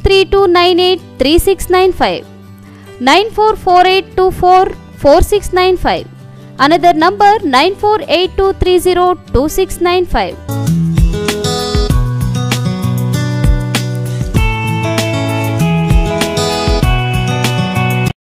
ಎಲ್ರಿಗೂ ನಮಸ್ಕಾರ. ಇನ್ ಮುಂದೆ ಯಾರಾದ್ರೂ ಆಕ್ಸಿಡೆಂಟ್ ಆದ್ರೆ, ದೊಡ್ಡ ದೊಡ್ಡ ಆರ್ ಡಿ ಬೆನ್ಸ್ ಕಾರ್ಗಳೆಲ್ಲ ಆಕ್ಸಿಡೆಂಟ್ ಆದ್ರೆ ಅಷ್ಟೇ ಅವ್ರ ಕುಟುಂಬಗಳು ನೆಮ್ಮದಿಯಾಗಿರುತ್ತೆ. ಚಿಕ್ಕ ಚಿಕ್ಕ ಯಾವ್ದಾದ್ರು ಟೂ ವೀಲರು ಅಥವಾ ಕಾರ್ಗಳು ಅಂತ ಗಾಡಿಗಳಿಗೆ ಸಿಕ್ಕಿ ಏನಾದ್ರೂ ಆಕ್ಸಿಡೆಂಟ್ ಆದ್ರೆ, ಅವರ ಇಡೀ ಕುಟುಂಬ ಆಕ್ಸಿಡೆಂಟ್ ಆಗಿ ಯಾರು ಅಪಘಾತಕ್ಕೀಡಾಗಿರ್ತಾರೆ ಅಂತ ಕುಟುಂಬ ಬೀದಿಗೆ ಬೀಳುವಂತ ಪರಿಸ್ಥಿತಿ ಬರ್ತಾ ಇದೆ. ಯಾಕೆ ಅಂತ ಹೇಳ್ತೀರಾ? ಹಿಂದೆ ಇದ್ದಂತ ಮೋಟಾರ್ ವೆಹಿಕಲ್ ಆಕ್ಟ್ ಏನಿತ್ತು, ಸಾವಿರದ ಒಂಬೈನೂರ ಎಂಬತ್ತೆಂಟರಲ್ಲಿ ಮಾಡಿದಂತ ಆಕ್ಟ್ ಪ್ರಕಾರ ಅವತ್ತಿನ ಒಂದು ಆಕ್ಟ್ ಅಲ್ಲಿ ಏನಿತ್ತು ಅಂದ್ರೆ section one forty one forty seven one forty five one forty nine ಹಾಗೆ ಏನು ಒನ್ ಸಿಕ್ಸ್ಟಿ ತ್ರೀ ಎ, ಇದು ಇತ್ತೀಚಿನ ದಿನಗಳಲ್ಲಿ ಎರಡ್ ಸಾವಿರದ ಹತ್ತೊಂಬತ್ತರಲ್ಲಿ ಇತ್ತೀಚಿನ ದಿನಗಳಲ್ಲಿ ಅದನ್ನ ಕಾನೂನ ತಿದ್ದುಪಡಿ ಮಾಡಿದ್ದಾರೆ. ಏನಪ್ಪ ತಿದ್ದುಪಡಿ ಅಂತ ತಮ್ಗೆ ತಿಳಿಸಬೇಕು ಅಂತ ಈ ಒಂದು ವಿಡಿಯೋ ಮುಖಾಂತರ ಹೇಳ್ತಾ ಇದ್ದೀನಿ. ಜನಸಾಮಾನ್ಯರಿಗೆ ಅಂದ್ರೆ ತಮ್ಗೆ ಅರ್ಥ ಆಗೋ ರೀತಿಯಲ್ಲಿ ಕೆಲವೊಂದು ಮಾತುಗಳಲ್ಲಿ ಕನ್ನಡ ಭಾಷೆಯಲ್ಲೇ ಇರಬೇಕು ಅಂತ ನಾನು ಈ ಒಂದು ವಿಡಿಯೋ ಮಾಡ್ತಾ ಇದ್ದೀನಿ. ಏನಂದ್ರೆ ಹಿಂದೆ ಯಾವ್ದಾದ್ರು ಒಂದು ವಾಹನ ಒಬ್ಬ ವ್ಯಕ್ತಿಗೆ ದಾರಿಯಲ್ಲಿ ಹೋಗ್ಬೇಕಾದ್ರೆ ಒಂದು ಆಕ್ಸಿಡೆಂಟ್ ಆಗುತ್ತೆ. ಆಕ್ಸಿಡೆಂಟ್ ಆದಾಗ ಆತ ಏನೋ ಒಂದು ಮೃತನಾಗ್ತಾನೆ ಇಲ್ಲಾಂದ್ರೆ ಆತನಿಗೆ ಏನೋ ಒಂದು ದೇಹದಲ್ಲಿ ಏನೋ ಒಂದು ಕೈಯೋ, ಕಾಲೋ, ಏನೋ ಒಂದು ಅಕಸ್ಮಾತ್ ಮುರಿದೋದ್ರೆ ಮತ್ತೊಂದಾದ್ರೆ ಆತ ಏನಾದ್ರೂ ಮುಂದಿನ ದಿನಗಳಲ್ಲಿ ಆತ ಹಾಸ್ಪಿಟಲ್ ಸೇರಿದ್ರೆ ನೆಕ್ಸ್ಟ್ ಆತ ಕೋರ್ಟ್ಗೆ ಹೋಗಿ ಕೋರ್ಟ್ನ ಮೊರೆ ಹೋಗಿ ಆತ ಏನಾದ್ರೂ ಕ್ಲೈಮ್ ಮಾಡಿದ್ರೆ ಅವಾಗ ಏನಾಗುತ್ತೆ? ಅವ್ನ್ ಎಲ್ಲಾ ಡಾಕ್ಯುಮೆಂಟ್ಸ್ ಕರೆಕ್ಟ್ ಆಗಿದ್ದು ನ್ಯಾಯಾಲಯ ಏನಾದ್ರೂ ಒಂದು ಐವತ್ತು ಲಕ್ಷ. ಕೊಡಬೇಕು ಅಥವಾ ಒಂದು ಕೋಟಿ ಕೊಡಬೇಕು ಅಂತ ಏನಾದರೂ ಆರ್ಡರ್ ಮಾಡಿದ್ರೆ ಅದನ್ನ ಇನ್ಶೂರೆನ್ಸ್ ಕಂಪ್ನಿ ಕೊಡ್ತಾ ಇತ್ತು. ಯಾಕಂದ್ರೆ ನಾವು ಇನ್ಶೂರೆನ್ಸ್ ಎಲ್ಲ ಕರೆಕ್ಟ್ ಆಗಿ ಕಟ್ಟಿದ್ವಿ ಲೈಸೆನ್ಸ್ ಇತ್ತು ಡಾಕ್ಯುಮೆಂಟ್ಸ್ ಎಲ್ಲ ಇದೆ ಅನ್ನೋ ಒಂದು ಕಾರಣದಿಂದ ಇನ್ಶೂರೆನ್ಸ್ ಕಂಪ್ನಿ ಪೂರ್ಣವಾಗಿ ಲಯಬಿಲಿಟಿ ಕೊಡಬೇಕಾಗಿತ್ತು. ಆದ್ರೆ ಈಗ ಎರಡ್ ಸಾವಿರದ ಹತ್ತೊಂಬತ್ತರ ಕಾನೂನಿನ ಪ್ರಕಾರ ಈಗೇನ್ ತಿದ್ದುಪಡಿ ಮಾಡಿದ್ದಾರೆ ಆ ಕಾನೂನಿನ ಪ್ರಕಾರ ತಮ್ಗೆಲ್ಲ ಎಷ್ಟೋ ಜನಕ್ಕೆ ಮೆಡಿಕ್ಲೇಮ್ ಹೇಗೆ ಅಂತ ಗೊತ್ತಿದೆ. ನಾನೇನಾದ್ರು ಹತ್ತು ಸಾವಿರ ಫಾರ್ ಎಕ್ಸಾಂಪಲ್ ಹತ್ತು ಸಾವಿರ ರೂಪಾಯಿ ಕೊಟ್ಟು ನಾನು ಹತ್ತು ಲಕ್ಷ ರೂಪಾಯಿಗೆ ಒಂದು ಇನ್ಶೂರೆನ್ಸ್ ಮಾಡಿಸಿರ್ತೀನಿ ಆಗ ಹತ್ತು ಲಕ್ಷ ರೂಪಾಯಿ ಏನು ನಾನು ಇನ್ಶೂರೆನ್ಸ್ ಮಾಡಿಸಿರ್ತೀನಿ. ಅಷ್ಟೇ ದುಡ್ಡು. ನಾನು ಆಕ್ಸಿಡೆಂಟ್ ಅಕಸ್ಮಾತ್ ನಾನು ದಾರಿಯಲ್ಲಿ ಹೋಗ್ಬೇಕಾದ್ರೆ ಒಂದು ಟೂ ವೀಲರ್ ಎತ್ಕೊಂಡು ನಾನು ಈಗ ಹೋಗ್ತಾ ಇರ್ತೀನಿ. ಟೂ ವೀಲರ್ ತಗೊಂಡು ಹೋಗ್ಬೇಕಾದ್ರೆ ನಾನು ಒಂದೂವರೆ ಸಾವಿರ ರೂಪಾಯಿ ಕೊಟ್ಬಿಟ್ಟು ಒಂದು ಇನ್ಶೂರೆನ್ಸ್ ಮಾಡಿಸಿರ್ತೀನಿ. ಅದು ಒಂದು ಮೂರು ಲಕ್ಷ ರೂಪಾಯಿ ಕವರ್ ಆಗಿರುತ್ತೆ. ಟೂ ವೀಲರ್ ತಗೊಂಡು ನಾನು ಹೋಗ್ಬೇಕಾದ್ರೆ ಒಬ್ಬ ಸಾಫ್ಟ್ವೇರ್ ಇಂಜಿನಿಯರ್ಗೆ ಗುದ್ದು ಬಿಡ್ತೀನಿ. ಅವ್ನು ಸತ್ತೋಗ್ತಾನೆ ನಂತರ ಅವ್ರ ಕುಟುಂಬದವರು ಪರಿಹಾರಕ್ಕಾಗಿ ನ್ಯಾಯಾಲಯಕ್ಕೆ ಮೊರೆ ಹೋಗ್ತಾರೆ. ನ್ಯಾಯಾಲಯ ಆದೇಶ ಕೊಡುತ್ತೆ ಒಂದು ಕೋಟಿ ಆ- ಕುಟುಂಬಕ್ಕೆ ಕೊಡಬೇಕು ಅಂತ ನ್ಯಾಯಾಲಯ ಒಂದು ಆದೇಶ ಕೊಡುತ್ತೆ. ಆದ್ರೆ ಆ ಒಂದು ಏನು ಟೂ ವೀಲರ್ ಇರುತ್ತೆ ಟೂ ವೀಲರ್ ಅಲ್ಲಿ ಒಂದು ಮೂರು ಲಕ್ಷನೋ ಅಥವಾ ನಾಲ್ಕು ಲಕ್ಷನೋ ಕವರ್ ಆಗಿರುತ್ತೆ. ಅವಾಗ ಇನ್ಶೂರೆನ್ಸ್ ಕಂಪ್ನಿಯಿಂದ ಬರೋದು ಬರೀ ಎಷ್ಟು ದುಡ್ಡು ಕವರ್ ಆಗಿರುತ್ತೆ? ಅಂದ್ರೆ ನಾಲ್ಕು ಲಕ್ಷ, ಅಂದ್ರೆ ನಾಲ್ಕು ಲಕ್ಷ ಕೊಡ್ತಾರೆ. ಇನ್ನ ಬ್ಯಾಲೆನ್ಸ್ ಅಮೌಂಟ್ ಏನಿರುತ್ತೆ? ತೊಂಬತ್ತಾರು ಲಕ್ಷ ರೂಪಾಯಿ. ಆ ವಾಹನದ ಮಾಲೀಕ ಕೊಡಬೇಕಾಗ್ತದೆ. ಯಾಕಂದ್ರೆ ಮುಂದಿನ ದಿನಗಳಲ್ಲಿ ಆ ತೊಂಬತ್ತಾರು ಲಕ್ಷಗಳಿಗೆ ಯಾರು ಆ ಕುಟುಂಬದವ್ರು ಏನ್ ಪರಿಹಾರ ಇರುತ್ತೆ, ಆ ದುಡ್ಡನ್ನ ರಿಕವರಿ ಮಾಡೋದಕ್ಕೆ ಅವರು ಓನರ್ ಮೇಲೆ ಹಾಕೊಬೇಕಾಗತ್ತೆ ಕೇಸನ್ನ. ಸೊ ಅದರಿಂದ ಆಗ್ತಕ್ಕಂಥ ಅನಾನುಕೂಲ ಏನು? ಒಂದು ಟೂ ವೀಲರ್ ಅಲ್ಲಿ ಇರ್ಬೋದು ಅಥವಾ ಕಾರ್ಗಳಿಗಿರ್ಬೋದು ಅಥವಾ ಟ್ರಾನ್ಸ್ಪೋರ್ಟ್ ವೆಹಿಕಲ್ಗಳಿರ್ಬೋದು ಪ್ರತಿಯೊಬ್ಬರು ಅಕಸ್ಮಾತ್ ಯಾರೋ ಒಬ್ರು ಮಾಡ್ತಕ್ಕಂಥ ನೆಗ್ಲಿಜೆನ್ಸಿ ಮತ್ತೊಂದು ಮತ್ತೊಂದ್ರಿಂದ ಒಂದು ಇನ್ಶೂರೆನ್ಸ್ ಕಂಪನಿಯವರು ಅಲ್ಲಿ ಎಷ್ಟು ಕವರ್ ಆಗುತ್ತೆ ಅಷ್ಟೇ ದುಡ್ಡು ಕೊಟ್ರೆ ಆದ್ರೆ ಸತ್ತಂತ ವ್ಯಕ್ತಿಯವರು ಅಥವಾ ಅಪಘಾತಕ್ಕೀಡಾದಂತ ಯಾವುದೋ ಒಂದು ಕೈಯೋ ಕಾಲೋ ಹೋಗಿರ್ತಕ್ಕಂಥ ವ್ಯಕ್ತಿ ಮನೆ ಕುಟುಂಬದವರು ಅಥವಾ ಆ ವ್ಯಕ್ತಿ ಒಂದು ಕ್ಲೈಮ್ ಮಾಡಿದಂತ ಸಮಯದಲ್ಲಿ ಏನು ಇನ್ಸೂರೆನ್ಸ್ ಕಂಪನಿ ಇಷ್ಟು ಕಡಿಮೆ ದುಡ್ಡನ್ನ ಈ ತರ ಕೊಟ್ರೆ ಬ್ಯಾಲೆನ್ಸ್ ಎಲ್ಲ ಓನರ್ ಕೊಡಬೇಕು ಅಂದ್ರೆ ಒಂದು ಐವತ್ತು ಐವತ್ತು ಲಾರಿ ಇಟ್ಕೊಂಡಿರ್ತಕ್ಕಂಥ ಒಬ್ಬ ಟ್ರಾನ್ಸ್ಪೋರ್ಟರ್ ಬಗ್ಗೆ ಮಾತಾಡೋಣ. ಓ, ಇವತ್ತು ದೇಶದ ಒಂದು ಶಕ್ತಿ ಟ್ರಾನ್ಸ್ಪೋರ್ಟೇಷನ್ ಅನ್ನೋದು ದೇಶದ ಒಂದು ಶಕ್ತಿ. ಒಬ್ಬ ಟ್ರಾನ್ಸ್ಪೋರ್ಟರ್ ಒಂದು ಗಾಡಿ ಇಟ್ಕೊಂಡಿರ್ತಾನೆ ಅವ್ನು ಹೋಗ್ತಾ ಒಂದು ಡ್ರೈವರ್ ಹೋಗಿಲ್ಲ ಒಂದು ಆಕ್ಸಿಡೆಂಟ್ ಮಾಡ್ತಾನೆ. ಅಕಸ್ಮಾತ್ ಆಕ್ಸಿಡೆಂಟ್ ಮಾಡಿಬಿಟ್ಟು ಅಲ್ಲಿ ಯಾರೋ ಒಬ್ಬ ದೊಡ್ಡ ವ್ಯಕ್ತಿ ಅಥವಾ ಲಕ್ಷಾಂತರ ರೂಪಾಯಿ ಜೀವನದಲ್ಲಿ ಅರ್ನ್ ಮಾಡ್ತಾ ಇದ್ದಂತ ಒಬ್ಬ ವ್ಯಕ್ತಿ ಸತ್ತೋಗ್ಬಿಟ್ರೆ, ಆ ಟ್ರಾನ್ಸ್ಪೋರ್ಟ್ ಇಟ್ಟಂತ ಮಾಲೀಕ ಒಂದು ವೆಹಿಕಲ್ಗೆ ಒಂದು ಇನ್ಶೂರೆನ್ಸ್ ಕಟ್ ಒಂದು ಹದಿನೈದು ಸಾವಿರ ರೂಪಾಯಿ ಅಥವಾ ಇಪ್ಪತ್ತು ಸಾವಿರ ರೂಪಾಯಿ ಇನ್ಶೂರೆನ್ಸ್ ಕಟ್ಟಿರ್ತಾನೆ. ಆ- ವಾಹನ ಕಡಿಮೆ ಅಂದ್ರೆ ಒಂದು ಏಳರಿಂದ ಎಂಟು ಲಕ್ಷ ರೂಪಾಯಿ ಇನ್ಶೂರೆನ್ಸ್ ಕವರ್ ಆಗಿರುತ್ತೆ. ಆ ಸತ್ತಂತ ಕುಟುಂಬದವರು ಎರಡು ಕೋಟಿನೋ ಮೂರು ಕೋಟಿನೋ ಕ್ಲೈಮ್ ಹಾಕೊಳ್ತಾರೆ. ಅದೇನಾಗುತ್ತೆ? ಮೂರು ಕೋಟಿ ರೂಪಾಯಿ ನ್ಯಾಯಾಲಯದ ಮೊರೆ ಹೋಗ್ತಾರೆ ಮೂರು ಕೋಟಿ ರೂಪಾಯಿ ಕೋರ್ಟಲ್ಲಿ ಆರ್ಡರ್ ಆಗುತ್ತೆ. ಅಕಸ್ಮಾತ್ ಅವರು ಇನ್ಶೂರೆನ್ಸ್ ಕವರ್ ಆಗಿರ್ತಕ್ಕಂಥದ್ದು ಒಂದು ಇಪ್ಪತ್ತರಿಂದ ಮೂವತ್ತು ಲಕ್ಷ ದುಡ್ಡನ್ನ ಇನ್ಶೂರೆನ್ಸ್ ಇಂದ ಬರುತ್ತೆ. ಇನ್ನು ಬ್ಯಾಲೆನ್ಸ್ ಎರಡು ಕೋಟಿನೋ, ಎರಡೂವರೆ ಕೋಟಿನೋ ದುಡ್ಡನ್ನ ಆ ವಾಹನದ ಮಾಲೀಕ ಕೊಡ್ಬೇಕಾಗತ್ತೆ. ಏನು ವಾಹನದ ಮಾಲೀಕ ಎಲ್ಲಿ ಅದನ್ನ ಕೊಡ್ತಾನೆ? ಇನ್ ಬ್ಯಾಲೆನ್ಸ್ ಐವತ್ತು ಗಾಡಿ ಮಾರ್ಬಿಟ್ಟು ಅವ್ನ ಕುಟುಂಬನ ಬೀದಿಗೆ ಹಾಕ್ಬಿಟ್ಟು ದುಡ್ಡನ್ನ ಕೊಡಬೇಕಾಗತ್ತೆ. ಇವ್ರು ಏನ್ ಮಾಡ್ತಾ ಇದ್ದಾರೆ ಇವತ್ತು ಏನ್ ಜನಕ್ಕೆ ಹೆಲ್ಪ್ ಮಾಡ್ತಾ ಇದ್ದಾರೆ ಈಗಾಗಲೇ ಜನಗಳಲ್ಲಿ ಎಲ್ಲಿ ಎಷ್ಟೋ ಕೆಲವೊಂದು ಜಿ ಎಸ್ ಇಂದ ಹೊರೆ ಇದೆ. ಇವತ್ತು ಎಷ್ಟೋ ಕಾರ್ಖಾನೆಗಳು ಅಥವಾ ಟ್ರಾನ್ಸ್ಪೋರ್ಟರ್ಸ್ ಮಧ್ಯಮ ವರ್ಗದ ಜನರಿಗೆ ಜಿ ಎಸ್ ಟಿ ಹೊರೆ ಆಗಿತ್ತು. ಆಯ್ತು, ಅದನ್ನೇಗೋ ಒಂದು ಒಂದು ನಾವು ಅದಕ್ಕೆ ಹೊಂದ್ಕೊಂಡು ಹೋಗ್ಬಿಡೋಣ ಅಂತ ಅನ್ಕೊಂಡ್ರೆ, ಈಗ ಇನ್ಶೂರೆನ್ಸ್ ಒಬ್ಬ ಸ್ಟೂಡೆಂಟ್ ಒಂದು ಗಾಡಿ ತಗೊಂಡು ಅಕಸ್ಮಾತ್ ಕಾಲೇಜ್ ಹೋಗ್ತಾ ಇರ್ತಾನೆ, ಏನೋ ಹೆಚ್ಚು ಕಮ್ಮಿ ಮಾಡೋ ಒಂದು ಆಕ್ಸಿಡೆಂಟ್ ಆಗೋಗ್ಬಿಡುತ್ತೆ ಯಾರಿಗೋ ಏನೋ ತೊಂದರೆ ಆಗೋಗ್ಬಿಡುತ್ತೆ ತೊಂದರೆ ಆದಾಗ ಸ್ಟೂಡೆಂಟ್ ಅವರಿಗೆ ಪರಿಹಾರನ, ಅವನ ಹೆಸರು ಗಾಡಿ ಇರ್ತೀವಿ ಪರಿಹಾರ ಎಲ್ಲಿ ತಂದು ಕೊಡ್ತಾನೆ ಒಂದು ಬಡವನ ಹೆಸರು, ಕೂಲಿ ಮಾಡೋರ ಹೆಸರು ಗಾಡಿಗಳಿರುತ್ತೆ. ಇನ್ಶೂರೆನ್ಸ್ ಕಂಪನಿ ಅವ್ರು ದುಡ್ಡು ಕೊಡ್ಲಿಲ್ಲ ಅಂದ್ರೆ ಆ ಕೂಲಿ ಮಾಡೋ ದುಡ್ಡನ್ನು ಎಲ್ಲಿ ತಂದು ಕೊಡ್ತಾನೆ? ಇಲ್ಲ, ದುಡ್ಡನ್ನು ತಂದು ಕೊಡ್ಬೇಕಲ್ಲ ಇನ್ನು ಜೈಲಿಗೆ ಹೋಗ್ಬೇಕಾ? ಈ ರೀತಿ ಮಾಡಿರ್ತಕ್ಕಂಥ ಕೇಂದ್ರ ಸರ್ಕಾರ ಏನ್ ಇವತ್ತು ಕಾನೂನು ಇದನ್ನು ಮಾಡಿದೆ? ಇದು ಇದು ಒಂದು ಒಂದು ರೀತಿಯಲ್ಲಿ ವೈಲೇಷನ್ ಆಫ್ ಹ್ಯೂಮನ್ ರೈಟ್ಸ್ ಆದ್ರೆ ಒಂದು ಒಂದು ರೀತಿಯ ಅವರು ಜನಗಳ ಮೇಲೆ ಏರ್ತಾ ಇರತಕ್ಕಂತ ಒಂದು ಒಂದು ಬಲವಂತವಾಗಿ ಏರ್ತಾ ಇರತಕ್ಕಂಥ ಒಂದು ಇದು ಕಾನೂನು ಇದು ಇದು ತಪ್ಪು, ಇದು ಈ ರೀತಿಯ ಕಾನೂನುಗಳನ್ನ ಈ ಕೂಡಲೇ ತೆಗೆದಾಕ್ಬೇಕು ಹಾಗೆ ಜನಸಾಮಾನ್ಯರು ಈ ರೀತಿಯ ಕಾನೂನುಗಳು ಆಗಿರ್ತಕ್ಕಂಥ ಜನಸಾಮಾನ್ಯರಿಗೆ ಗಮನಕ್ಕೆ ಬಂದಿಲ್ಲ. ಹಾಗಾಗಿ ಈ ಕೂಡಲೇ ಈ ಕೂಡಲೇ ಜನಸಾಮಾನ್ಯರು ಕೂಡ ಇರ್ಬೋದು, ಆದ್ರೆ ಮತ್ತೆ ಎಲ್ಲ ರಾಜಕೀಯ ಪಕ್ಷಗಳು ಕೂಡ ಪಕ್ಷಾತೀತವಾಗಿ ಈ ಇದರ ಕಾನೂನಿನ ವಿರುದ್ಧವಾಗಿ ಹೋರಾಟ ಮಾಡಬೇಕು. ಇಲ್ಲ ಅಂದ್ರೆ ಮುಂದಿನ ದಿನಗಳಲ್ಲಿ ತುಂಬಾ ತೊಂದರೆ ಆಗತ್ತೆ. ಈ ಕಾನೂನ ಈ ಈ ಕೂಡಲೇ ಅತಿಶಯ ಅತಿ ಒಂದು ಈ ಕೂಡಲೇ ಅಂದ್ರೆ ಒಂದು ಹತ್ತು ಹದಿನೈದು ಈ ಕಾನೂನನ್ನು ತೆಗೆದಾಕಬೇಕು. ಆಗ ಮಾತ್ರ ಜನಸಾಮಾನ್ಯರು ಬದುಕೋಕೆ ಸಾಧ್ಯ. ಯಾಕಂದ್ರೆ ಇಲ್ಲ ತುಂಬಾ ತೊಂದರೆ ಆಗತ್ತೆ. ಜನಸಾಮಾನ್ಯರು ಇವತ್ತು ಈ ದೇಶದಲ್ಲಿ ನಾವು, ಭಾರತದಲ್ಲಿ ಪ್ರಜೆಗಳೇ ಪ್ರಜೆಗಳಿಗೋಸ್, ಪ್ರಜೆಗಳಿಂದಲೇ ಪ್ರಜೆಗಳಿಗೋಸ್ಕರ ನಾವು ಬದುಕೋದು ಅಂತ ನಮ್ಮ ಕಾನೂನು ಏನು, ನಮ್ಮ ಕಾನ್ಸ್ಟಿಟ್ಯೂಷನ್ ಏನ್ ಹೇಳುತ್ತೆ, ಆ ರೀತಿ ನಾವು ಇರಬೇಕು ಅನ್ನೋದಾದ್ರೆ ಇಂಥ ಈ ರೀತಿಯ ಜನಗಳಿಗೆ ತೊಂದರೆ ಕೊಡ್ತಕ್ಕಂಥ ಕಾನೂನುಗಳನ್ನ ಮಾಡಬಾರ್ದು. ಈ ಕೂಡಲೇ ಆ ಕಾನೂನು ರದ್ದು ಮಾಡಬೇಕು ಅಂತ ಈ ಒಂದು ವಿಡಿಯೋ ಮುಖಾಂತರ ಕೇಳ್ಕೊಳ್ತೀನಿ. ಇದನ್ನ ಈ ವಿಡಿಯೋಗಳನ್ನ ನೋಡಾದ್ಮೇಲೆ ಜನಸಾಮಾನ್ಯರು ಇದು ಇದ್ರ ವಿರುದ್ಧವಾಗಿ ಪ್ರತಿಭಟಿಸಬೇಕು. ಈ ಕೂಡಲೇ ಕಾನೂನು ರದ್ದು ಮಾಡೋದಕ್ಕೆ ಹೋರಾಟ ಮಾಡಬೇಕು ಅಂತ. ಹಾಗೆ ಸಂಘಟನೆಗಳು ಕೂಡ. ಎಷ್ಟೋ ಸಂಘಟನೆಗಳು ಬೇಡದಿಲ್ದಿರೋ ವಿಚಾರಕ್ಕೆಲ್ಲ ಹೋರಾಟ ಮಾಡ್ತೀರಾ? ಆದ್ರೆ ಇಂಥ ವಿಚಾರಕ್ಕೆ ಹೋರಾಟ ಮಾಡಿ, ಇಂಥ ವಿಚಾರಗಳನ್ನ ಹೋರಾಟ ಮಾಡಿ ಸರ್ಕಾರಗಳನ್ನ ಕಣ್ತರಿಸುವಂತ ಕೆಲಸ ಮಾಡಬೇಕು ಅಂತ ಈ ವಿಡಿಯೋ ಮುಖಾಂತರ ಕೇಳ್ಕೊಂತೀನಿ. ಪಾಲ್ಗೊಂಡಿದ್ದರು. ಆರೋಗ್ಯ ನಿರ್ವಹಣೆ ಸಂಸ್ಥೆ ಒಂದು ವರ್ಷದಲ್ಲಿ ಉಚಿತ ತರಬೇತಿ ಗ್ರಾಮೀಣ ಬಾಲಕಿಯರಿಗೆ ನರ್ಸಿಂಗ್ ಸಹಾಯಕಾರಿಯಾಗಿದೆ. ಹಳ್ಳಿಗಳು ಭಾರತದ ಎಪ್ಪತ್ತೆರಡು ಪ್ರತಿಶತರಷ್ಟಿದೆ ಮತ್ತು ಈ ಗ್ರಾಮಗಳನ್ನ ಹೊರತುಪಡಿಸಿ ಭಾರತವು ಪ್ರಗತಿ ಹೊಂದಲು ಸಾಧ್ಯವಿಲ್ಲ. ಭವಿಷ್ಯದ ಭಾರತದ ತಯಾರಕರು ಆಗಿರುವ ನಮ್ಮ ಗ್ರಾಮಸ್ಥರಿಗೆ ವಿಶೇಷವಾಗಿ ಗ್ರಾಮೀಣ ಯುವತಿಯರಿಗೆ ಅವಕಾಶಗಳು ಲಭ್ಯವಾಗಬೇಕು. ಈ ಗ್ರಾಮೀಣ ಬಾಲಕಿಯರಿಗೆ ನರ್ಸಿಂಗ್ ಸಹಾಯಕ ತರಬೇತಿಯನ್ನ ಆಯ್ಕೆ ಮಾಡಲಾಗಿದೆ. ಏಕೆಂದರೆ ಈ ತರಬೇತಿಯ ಅವಧಿ ಕೇವಲ ಒಂದು ವರ್ಷ ಮತ್ತು ತರಬೇತಿ ಮುಗಿದ ಕೂಡಲೇ ಉದ್ಯೋಗವನ್ನು ಹುಡುಕುವ ವ್ಯಾಪ್ತಿ ವಿಸ್ತಾರವಾಗಿದೆ. ವೃತ್ತಿ ಜೀವನವನ್ನ ಮುಂದುವರಿಸಲು ಆಸಕ್ತಿ ಹೊಂದಿರುವ ವ್ಯಕ್ತಿಗಳಿಗೆ ತರಬೇತಿ ಅತ್ಯುತ್ತಮ ಅವಕಾಶವಾಗಿದೆ ಅವರ ವೈಯಕ್ತಿಕ ಜೀವನದಲ್ಲಿ ಅವರು ಯಾವುದೇ ತೊಂದರೆಗಳು, ಚಿಂತೆಗಳು ಮತ್ತು ದುಃಖಗಳನ್ನು ಎದುರಿಸುವುದಿಲ್ಲ. ಅವರು ಉದ್ಯೋಗದಲ್ಲಿ ಇರುವ ಕಾರಣ ಭವಿಷ್ಯದಲ್ಲಿ ಅವರ ಸಂಗಾತಿಯೂ ಸಹ ಅವರನ್ನು ಗೌರವಿಸುತ್ತಾರಾ ಮತ್ತು ಗೌರವದಿಂದ ವರ್ತಿಸುತ್ತಾರಾ? ಸಿದ್ಧಾಂತ ತರಗತಿಗಳ ಜೊತೆಗೆ ಕ್ರಮೇಣ ಈ ಮೂವತ್ತು ವಿದ್ಯಾರ್ಥಿಗಳಿಗೆ ಬ್ಯಾಂಡೇಜಿಂಗ್, ಹೊಲಿಗೆ ನಿರ್ವಹಣೆ, ರೆಕಾರ್ಡಿಂಗ್, ಇಸಿಜಿ, ಮಾನಿಟರಿಂಗ್, ಪಲ್ಸ್ ಇತ್ಯಾದಿಗಳನ್ನ ನಿರ್ವಹಿಸಲು ಪ್ರಾಯೋಗಿಕವಾಗಿ ತರಬೇತಿ ನೀಡಲಾಗುತ್ತದೆ ಮತ್ತು ವಿವಿಧ ಔಷಧಿಗಳ ಹೆಸರಿನೊಂದಿಗೆ ಪರಿಚಿತರಾಗುತ್ತಾರೆ. ತರಬೇತಿಯಲ್ಲಿ ಆಯ್ಕೆಯಾದ ಮೂವತ್ತು ಮಹಿಳಾ ಅಭ್ಯರ್ಥಿಗಳಿಗೆ ಉಚಿತ ಊಟ ಮತ್ತು ವಸತಿ ನೀಡಲಾಗುವುದು ಹಾಗೂ ಸ್ಟೈಪಂಡ್ ಸಹ ನೀಡಲಾಗುವುದು. ಈ ಹುದ್ದೆಗೆ ಅರ್ಜಿ ಸಲ್ಲಿಸಲು ಹೆಚ್ಚಿನ ವಿವರಗಳಿಗಾಗಿ ಸರ್ಕಾರಿ ಮಾನ್ಯತೆ ಪಡೆದ ಸಂಸ್ಥೆಯು ಮಹಿಳೆಯರಿಗೆ ಉಚಿತ ಹೆಲ್ತ್ ಕೇರ್ ಅಸಿಸ್ಟೆಂಟ್ ತರಬೇತಿ ಕೊಟ್ಟು ಉದ್ಯೋಗ ಒದಗಿಸುತ್ತದೆ. ಹೆಚ್ಚಿನ ಮಾಹಿತಿಗಾಗಿ ಈ ಕೆಳಗಿನ ಸಂಖ್ಯೆಗಳಿಗೆ ಕರೆ ಮಾಡಿ. Eight seven double two five one five six five nine double nine zero one eight two one four six five. ಇಷ್ಟೊತ್ತು ನೀವು ನೋಡಿರೋದು ನ್ಯೂಸ್ ವಿತ್ ಕರ್ನಾಟಕ. ಎಲ್ರಿಗೂ ನಮಸ್ಕಾರ.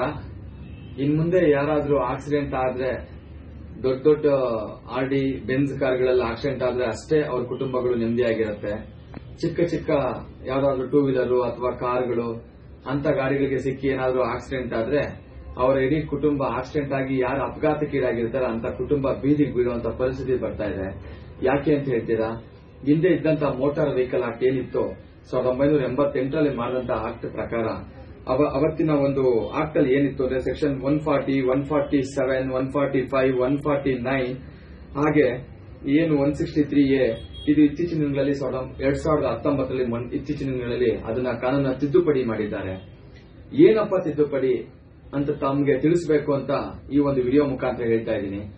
ಜನಸಾಮಾನ್ಯರಿಗೆ ಅಂದ್ರೆ ತಮ್ಗೆ ಅರ್ಥ ಆಗೋ ರೀತಿಯಲ್ಲಿ ಕೆಲವೊಂದು ಮಾತುಗಳಲ್ಲಿ ಕನ್ನಡ ಭಾಷೆಯಲ್ಲೇ ಹೇಳಬೇಕು ಅಂತ ನಾನು ಈ ಒಂದು ವಿಡಿಯೋ ಮಾಡ್ತಾ ಇದ್ದೀನಿ. ಏನಂದ್ರೆ ಹಿಂದೆ ಯಾವ್ದಾದ್ರು ಒಂದು ವಾಹನ ಒಬ್ಬ ವ್ಯಕ್ತಿಗೆ ದಾರಿಯಲ್ಲಿ ಹೋಗ್ಬೇಕಾದ್ರೆ ಒಂದು ಆಕ್ಸಿಡೆಂಟ್ ಆಗುತ್ತೆ.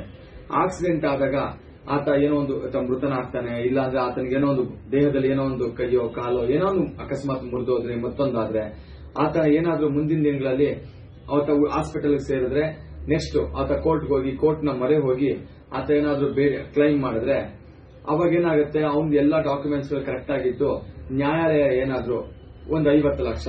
ಕೊಡಬೇಕು ಅಥವಾ ಒಂದು ಕೋಟಿ ಕೊಡಬೇಕು ಅಂತ ಏನಾದರೂ ಆರ್ಡರ್ ಮಾಡಿದ್ರೆ ಅದನ್ನ ಇನ್ಶೂರೆನ್ಸ್ ಕಂಪ್ನಿ ಕೊಡ್ತಾ ಇತ್ತು. ಯಾಕಂದ್ರೆ ನಾವು ಇನ್ಶೂರೆನ್ಸ್ ಎಲ್ಲ ಕರೆಕ್ಟ್ ಆಗಿ ಕಟ್ಟಿದ್ವಿ ಲೈಸೆನ್ಸ್ ಇತ್ತು ಡಾಕ್ಯುಮೆಂಟ್ಸ್ ಎಲ್ಲ ಇದೆ ಅನ್ನೋ ಒಂದು ಕಾರಣದಿಂದ ಇನ್ಶೂರೆನ್ಸ್ ಕಂಪ್ನಿ ಪೂರ್ಣವಾಗಿ ಲಯಬಿಲಿಟಿ ಕೊಡಬೇಕಾಗಿತ್ತು.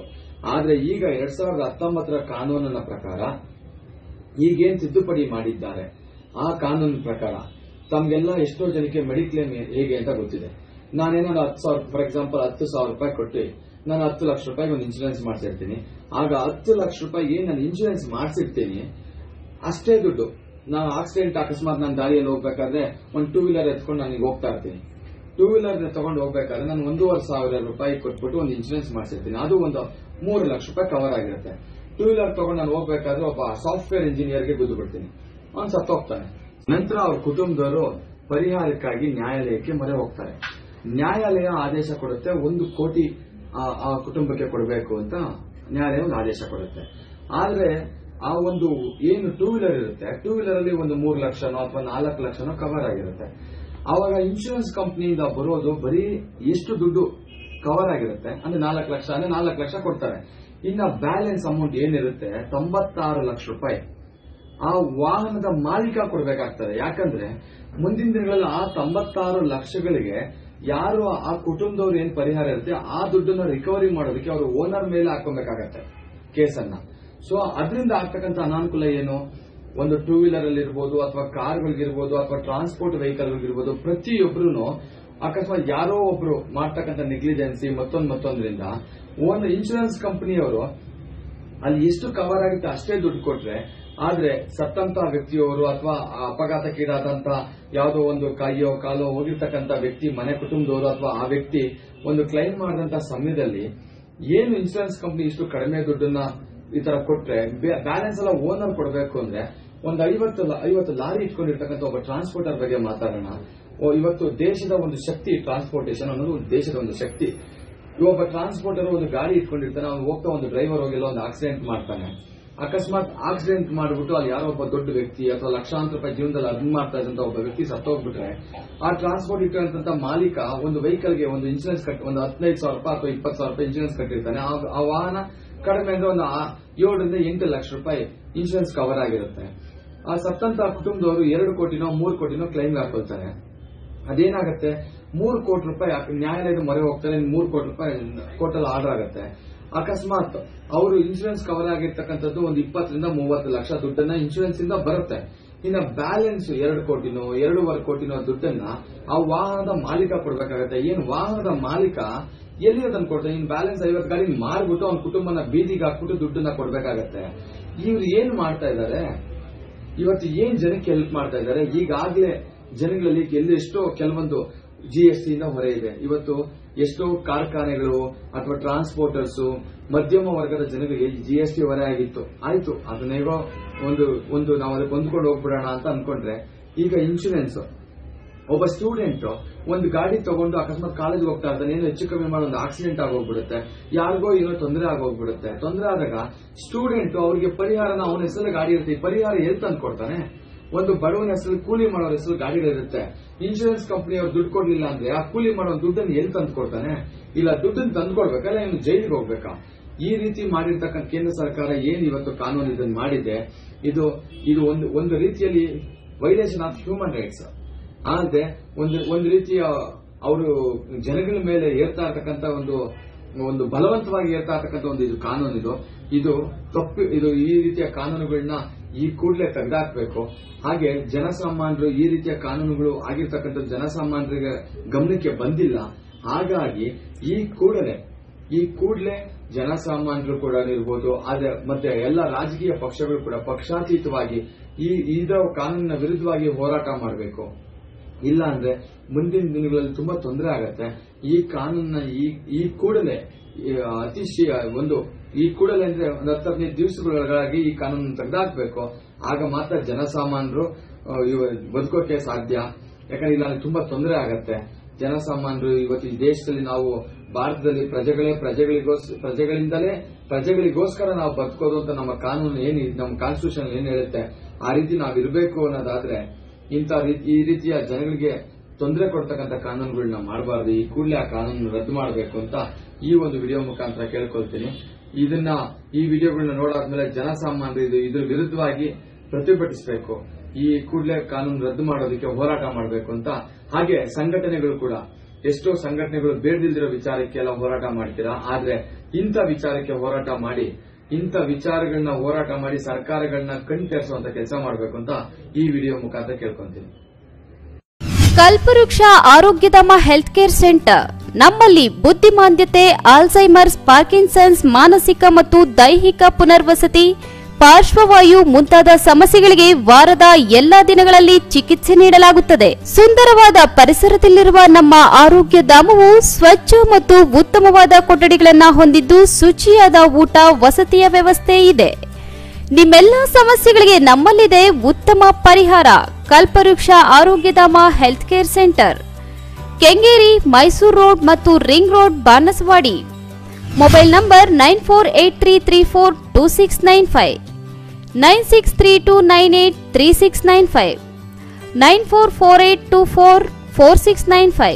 another number nine four eight two three two six nine five. ಎಲ್ರಿಗೂ ನಮಸ್ಕಾರ. ಇನ್ ಮುಂದೆ ಯಾರಾದ್ರೂ ಆಕ್ಸಿಡೆಂಟ್ ಆದ್ರೆ, ದೊಡ್ಡ ದೊಡ್ಡ ಆರ್ ಡಿ ಬೆನ್ಸ್ ಕಾರ್ಗಳಲ್ಲಿ ಆಕ್ಸಿಡೆಂಟ್ ಆದ್ರೆ ಅಷ್ಟೇ ಅವ್ರ ಕುಟುಂಬಗಳು ನೆಮ್ಮದಿಯಾಗಿರುತ್ತೆ. ಚಿಕ್ಕ ಚಿಕ್ಕ ಯಾವ್ದಾದ್ರು ಟೂ ವೀಲರ್ ಅಥವಾ ಕಾರ್ಗಳು ಅಂತ ಗಾಡಿಗಳಿಗೆ ಸಿಕ್ಕಿ ಏನಾದರೂ ಆಕ್ಸಿಡೆಂಟ್ ಆದ್ರೆ ಅವರ ಇಡೀ ಕುಟುಂಬ ಆಕ್ಸಿಡೆಂಟ್ ಆಗಿ ಯಾರು ಅಪಘಾತಕ್ಕೀಡಾಗಿರ್ತಾರೆ ಅಂತ ಕುಟುಂಬ ಬೀದಿಗೆ ಬೀಳುವಂತ ಪರಿಸ್ಥಿತಿ ಬರ್ತಾ ಇದೆ. ಯಾಕೆ ಅಂತ ಹೇಳ್ತೀರಾ? ಹಿಂದೆ ಇದ್ದಂತ ಮೋಟಾರ್ ವೆಹಿಕಲ್ ಆಕ್ಟ್ ಏನಿತ್ತು ಸಾವಿರದ ಒಂಬೈನೂರ ಎಂಬತ್ತೆಂಟರಲ್ಲಿ ಮಾಡಿದಂತ ಆಕ್ಟ್ ಪ್ರಕಾರ ಅವ, ಅವತ್ತಿನ ಒಂದು ಆಕ್ಟ್ ಅಲ್ಲಿ ಏನಿತ್ತು ಅಂದ್ರೆ section one forty one forty seven one forty five one forty nine ಹಾಗೆ ಏನು ಒನ್ ಸಿಕ್ಸ್ಟಿ ತ್ರೀ ಎ ಇದು ಇತ್ತೀಚಿನ ದಿನಗಳಲ್ಲಿ ಎರಡ್ ಸಾವಿರದ ಹತ್ತೊಂಬತ್ತರಲ್ಲಿ ಇತ್ತೀಚಿನ ದಿನಗಳಲ್ಲಿ ಅದನ್ನ ಕಾನೂನ ತಿದ್ದುಪಡಿ ಮಾಡಿದ್ದಾರೆ. ಏನಪ್ಪ ತಿದ್ದುಪಡಿ ಅಂತ ತಮಗೆ ತಿಳಿಸಬೇಕು ಅಂತ ಈ ಒಂದು ವಿಡಿಯೋ ಮುಖಾಂತರ ಹೇಳ್ತಾ ಇದ್ದೀನಿ. ಜನಸಾಮಾನ್ಯರಿಗೆ ಅಂದ್ರೆ ತಮಗೆ ಅರ್ಥ ಆಗೋ ರೀತಿಯಲ್ಲಿ ಕೆಲವೊಂದು ಮಾತುಗಳಲ್ಲಿ ಕನ್ನಡ ಭಾಷೆಯಲ್ಲೇ ಇರಬೇಕು ಅಂತ ನಾನು ಈ ಒಂದು ವಿಡಿಯೋ ಮಾಡ್ತಾ ಇದ್ದೀನಿ. ಏನಂದ್ರೆ, ಹಿಂದೆ ಯಾವ್ದಾದ್ರು ಒಂದು ವಾಹನ ಒಬ್ಬ ವ್ಯಕ್ತಿಗೆ ದಾರಿಯಲ್ಲಿ ಹೋಗ್ಬೇಕಾದ್ರೆ ಒಂದು ಆಕ್ಸಿಡೆಂಟ್ ಆಗುತ್ತೆ. ಆಕ್ಸಿಡೆಂಟ್ ಆದಾಗ ಆತ ಏನೋ ಒಂದು ಮೃತನಾಗ್ತಾನೆ ಇಲ್ಲ ಅಂದ್ರೆ ಆತನಿಗೆ ಏನೋ ಒಂದು ದೇಹದಲ್ಲಿ ಏನೋ ಒಂದು ಕೈಯೋ, ಕಾಲೋ, ಏನೋ ಒಂದು ಅಕಸ್ಮಾತ್ ಮುರಿದೋದ್ರೆ, ಮತ್ತೊಂದಾದ್ರೆ, ಆತ ಏನಾದ್ರೂ ಮುಂದಿನ ದಿನಗಳಲ್ಲಿ ಆತ ಹಾಸ್ಪಿಟಲ್ ಸೇರಿದ್ರೆ ನೆಕ್ಸ್ಟ್ ಆತ ಕೋರ್ಟ್ಗೆ ಹೋಗಿ ಕೋರ್ಟ್ನ ಮೊರೆ ಹೋಗಿ ಆತ ಏನಾದ್ರೂ ಕ್ಲೈಮ್ ಮಾಡಿದ್ರೆ, ಅವಾಗ ಏನಾಗುತ್ತೆ, ಅವ್ನ ಎಲ್ಲಾ ಡಾಕ್ಯುಮೆಂಟ್ಸ್ ಕರೆಕ್ಟ್ ಆಗಿದ್ದು, ನ್ಯಾಯಾಲಯ ಏನಾದ್ರೂ ಒಂದು ಐವತ್ತು ಲಕ್ಷ ಕೊಡಬೇಕು, ಅಥವಾ ಒಂದು ಕೋಟಿ ಕೊಡಬೇಕು ಅಂತ ಏನಾದ್ರೂ ಆರ್ಡರ್ ಮಾಡಿದ್ರೆ, ಅದನ್ನ ಇನ್ಶೂರೆನ್ಸ್ ಕಂಪ್ನಿ ಕೊಡ್ತಾ ಇತ್ತು. ಯಾಕಂದ್ರೆ ನಾವು ಇನ್ಶೂರೆನ್ಸ್ ಎಲ್ಲ ಕರೆಕ್ಟ್ ಆಗಿ ಕಟ್ಟಿದ್ವಿ ಲೈಸೆನ್ಸ್ ಇತ್ತು ಡಾಕ್ಯುಮೆಂಟ್ಸ್ ಎಲ್ಲ ಇದೆ ಅನ್ನೋ ಒಂದು ಕಾರಣದಿಂದ ಇನ್ಶೂರೆನ್ಸ್ ಕಂಪ್ನಿ ಪೂರ್ಣವಾಗಿ ಲಯಬಿಲಿಟಿ ಕೊಡಬೇಕಾಗಿತ್ತು.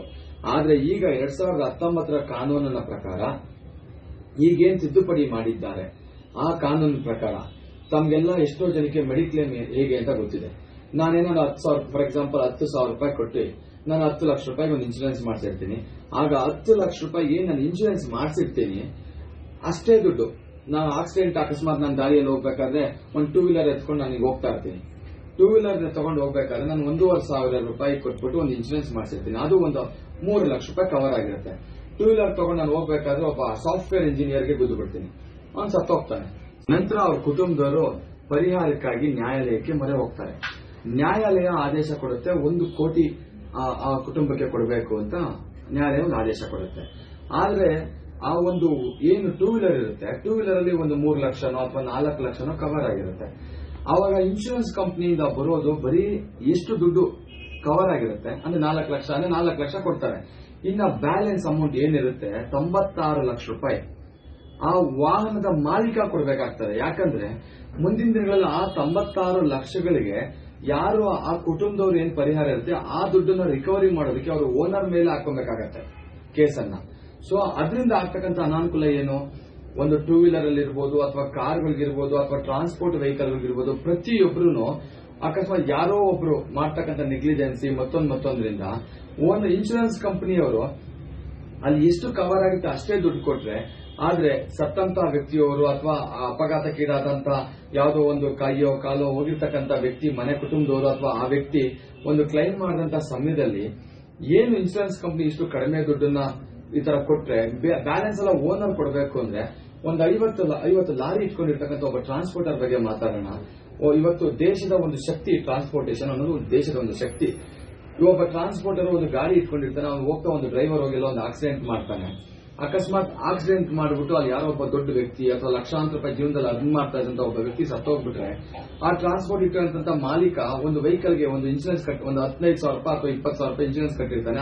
ಆ ವಾಹನ ಕಡಿಮೆ ಅಂದ್ರೆ ಒಂದು ಏಳರಿಂದ ಎಂಟು ಲಕ್ಷ ರೂಪಾಯಿ ಇನ್ಶೂರೆನ್ಸ್ ಕವರ್ ಆಗಿರುತ್ತೆ. ಆ ಸತ್ತಂತ ಕುಟುಂಬದವರು ಎರಡು ಕೋಟಿನೋ ಮೂರು ಕೋಟಿನೋ ಕ್ಲೈಮ್ ಹಾಕೊಳ್ತಾರೆ. ಅದೇನಾಗುತ್ತೆ? ಮೂರು ಕೋಟಿ ರೂಪಾಯಿ ನ್ಯಾಯಾಲಯದ ಮೊರೆ ಹೋಗ್ತಾರೆ ಮೂರು ಕೋಟಿ ರೂಪಾಯಿ ಕೋರ್ಟಲ್ಲಿ ಆರ್ಡರ್ ಆಗುತ್ತೆ. ಅಕಸ್ಮಾತ್ ಅವರು ಇನ್ಶೂರೆನ್ಸ್ ಕವರ್ ಆಗಿರ್ತಕ್ಕಂಥದ್ದು ಒಂದು ಇಪ್ಪತ್ತರಿಂದ ಮೂವತ್ತು ಲಕ್ಷ ದುಡ್ಡನ್ನ ಇನ್ಶೂರೆನ್ಸ್ ಇಂದ ಬರುತ್ತೆ. ಇನ್ನು ಬ್ಯಾಲೆನ್ಸ್ ಎರಡು ಕೋಟಿನೋ, ಎರಡೂವರೆ ಕೋಟಿನೋ ದುಡ್ಡನ್ನ ಆ ವಾಹನದ ಮಾಲೀಕ ಕೊಡ್ಬೇಕಾಗತ್ತೆ. ಏನು ವಾಹನದ ಮಾಲೀಕ ಎಲ್ಲಿ ಅದನ್ನ ಕೊಡ್ತಾನೆ ಇನ್ ಬ್ಯಾಲೆನ್ಸ್ ಐವತ್ತು ಗಾಡಿ ಮಾರ್ಬಿಟ್ಟು ಅವ್ನ ಕುಟುಂಬನ ಬೀದಿಗೆ ಹಾಕ್ಬಿಟ್ಟು ದುಡ್ಡನ್ನ ಕೊಡ್ಬೇಕಾಗತ್ತೆ. ಇವ್ರು ಏನ್ ಮಾಡ್ತಾ ಇದ್ದಾರೆ? ಇವತ್ತು ಏನ್ ಜನಕ್ಕೆ ಹೆಲ್ಪ್ ಮಾಡ್ತಾ ಇದ್ದಾರೆ? ಈಗಾಗಲೇ ಜನಗಳಲ್ಲಿ ಎಲ್ಲೆಷ್ಟೋ ಕೆಲವೊಂದು ಜಿ ಎಸ್ ಟಿ ಹೊರೆ ಇದೆ. ಇವತ್ತು ಎಷ್ಟೋ ಕಾರ್ಖಾನೆಗಳು ಅಥವಾ ಟ್ರಾನ್ಸ್ಪೋರ್ಟರ್ಸ್ ಮಧ್ಯಮ ವರ್ಗದ ಜನಗಳಿಗೆ ಜಿ ಎಸ್ ಟಿ ಹೊರೆ ಆಗಿತ್ತು. ಆಯ್ತು, ಅದನ್ನೇಗೋ ಒಂದು ಒಂದು ನಾವು ಅದಕ್ಕೆ ಹೊಂದ್ಕೊಂಡು ಹೋಗ್ಬಿಡೋಣ ಅಂತ ಅನ್ಕೊಂಡ್ರೆ ಈಗ ಇನ್ಶೂರೆನ್ಸ್ ಒಬ್ಬ ಸ್ಟೂಡೆಂಟ್ ಒಂದು ಗಾಡಿ ತಗೊಂಡು ಅಕಸ್ಮಾತ್ ಕಾಲೇಜ್ ಹೋಗ್ತಾ ಇರ್ತಾನೆ, ಏನೋ ಹೆಚ್ಚು ಕಮ್ಮಿ ಮಾಡೋ, ಒಂದು ಆಕ್ಸಿಡೆಂಟ್ ಆಗೋಗ್ಬಿಡುತ್ತೆ, ಯಾರಿಗೋ ಏನೋ ತೊಂದರೆ ಆಗೋಗ್ಬಿಡುತ್ತೆ. ತೊಂದರೆ ಆದಾಗ ಸ್ಟೂಡೆಂಟ್ ಅವ್ರಿಗೆ ಪರಿಹಾರನ ಅವನ ಹೆಸರು ಗಾಡಿ ಇರುತ್ತೆ. ಈ ಪರಿಹಾರ ಎಲ್ಲಿ ತಂದು ಕೊಡ್ತಾನೆ? ಒಂದು ಬಡವನ ಹೆಸರು, ಕೂಲಿ ಮಾಡೋರ ಹೆಸರು ಗಾಡಿಗಳಿರುತ್ತೆ. ಇನ್ಶೂರೆನ್ಸ್ ಕಂಪನಿ ಅವ್ರು ದುಡ್ಡು ಕೊಡ್ಲಿಲ್ಲ ಅಂದ್ರೆ ಆ ಕೂಲಿ ಮಾಡೋ ದುಡ್ಡನ್ನು ಎಲ್ಲಿ ತಂದು ಕೊಡ್ತಾನೆ? ಇಲ್ಲ, ದುಡ್ಡನ್ನು ತಂದು ಕೊಡ್ಬೇಕಲ್ಲ ಇನ್ನು ಜೈಲಿಗೆ ಹೋಗ್ಬೇಕಾ? ಈ ರೀತಿ ಮಾಡಿರ್ತಕ್ಕಂಥ ಕೇಂದ್ರ ಸರ್ಕಾರ ಏನ್ ಇವತ್ತು ಕಾನೂನು ಇದನ್ನು ಮಾಡಿದೆ? ಇದು ಇದು ಒಂದು ಒಂದು ರೀತಿಯಲ್ಲಿ ವೈಲೇಷನ್ ಆಫ್ ಹ್ಯೂಮನ್ ರೈಟ್ಸ್ ಆದ್ರೆ ಒಂದು ಒಂದು ರೀತಿಯ ಅವರು ಜನಗಳ ಮೇಲೆ ಏರ್ತಾ ಇರತಕ್ಕಂತ ಒಂದು ಒಂದು ಬಲವಂತವಾಗಿ ಏರ್ತಾ ಇರ್ತಕ್ಕಂಥ ಒಂದು ಇದು ಕಾನೂನು ಇದು ಇದು ತಪ್ಪು, ಇದು ಈ ರೀತಿಯ ಕಾನೂನುಗಳನ್ನ ಈ ಕೂಡಲೇ ತೆಗೆದಾಕ್ಬೇಕು. ಹಾಗೆ ಜನಸಾಮಾನ್ಯರು ಈ ರೀತಿಯ ಕಾನೂನುಗಳು ಆಗಿರ್ತಕ್ಕಂಥ ಜನಸಾಮಾನ್ಯರಿಗೆ ಗಮನಕ್ಕೆ ಬಂದಿಲ್ಲ. ಹಾಗಾಗಿ ಈ ಕೂಡಲೇ ಈ ಕೂಡಲೇ ಜನಸಾಮಾನ್ಯರು ಕೂಡ ಇರ್ಬೋದು, ಆದರೆ ಮತ್ತೆ ಎಲ್ಲ ರಾಜಕೀಯ ಪಕ್ಷಗಳು ಕೂಡ ಪಕ್ಷಾತೀತವಾಗಿ ಈ ಇದರ ಕಾನೂನಿನ ವಿರುದ್ಧವಾಗಿ ಹೋರಾಟ ಮಾಡಬೇಕು. ಇಲ್ಲ ಅಂದ್ರೆ ಮುಂದಿನ ದಿನಗಳಲ್ಲಿ ತುಂಬಾ ತೊಂದರೆ ಆಗತ್ತೆ. ಈ ಕಾನೂನ ಈ ಕೂಡಲೇ ಅತಿ ಒಂದು, ಈ ಕೂಡಲೇ ಅಂದ್ರೆ ಒಂದು ಹತ್ತು ಹದಿನೈದು ದಿವಸಗಳಾಗಿ ಈ ಕಾನೂನನ್ನು ತೆಗೆದಾಕ್ಬೇಕು. ಆಗ ಮಾತ್ರ ಜನಸಾಮಾನ್ಯರು ಬದುಕೋಕೆ ಸಾಧ್ಯ.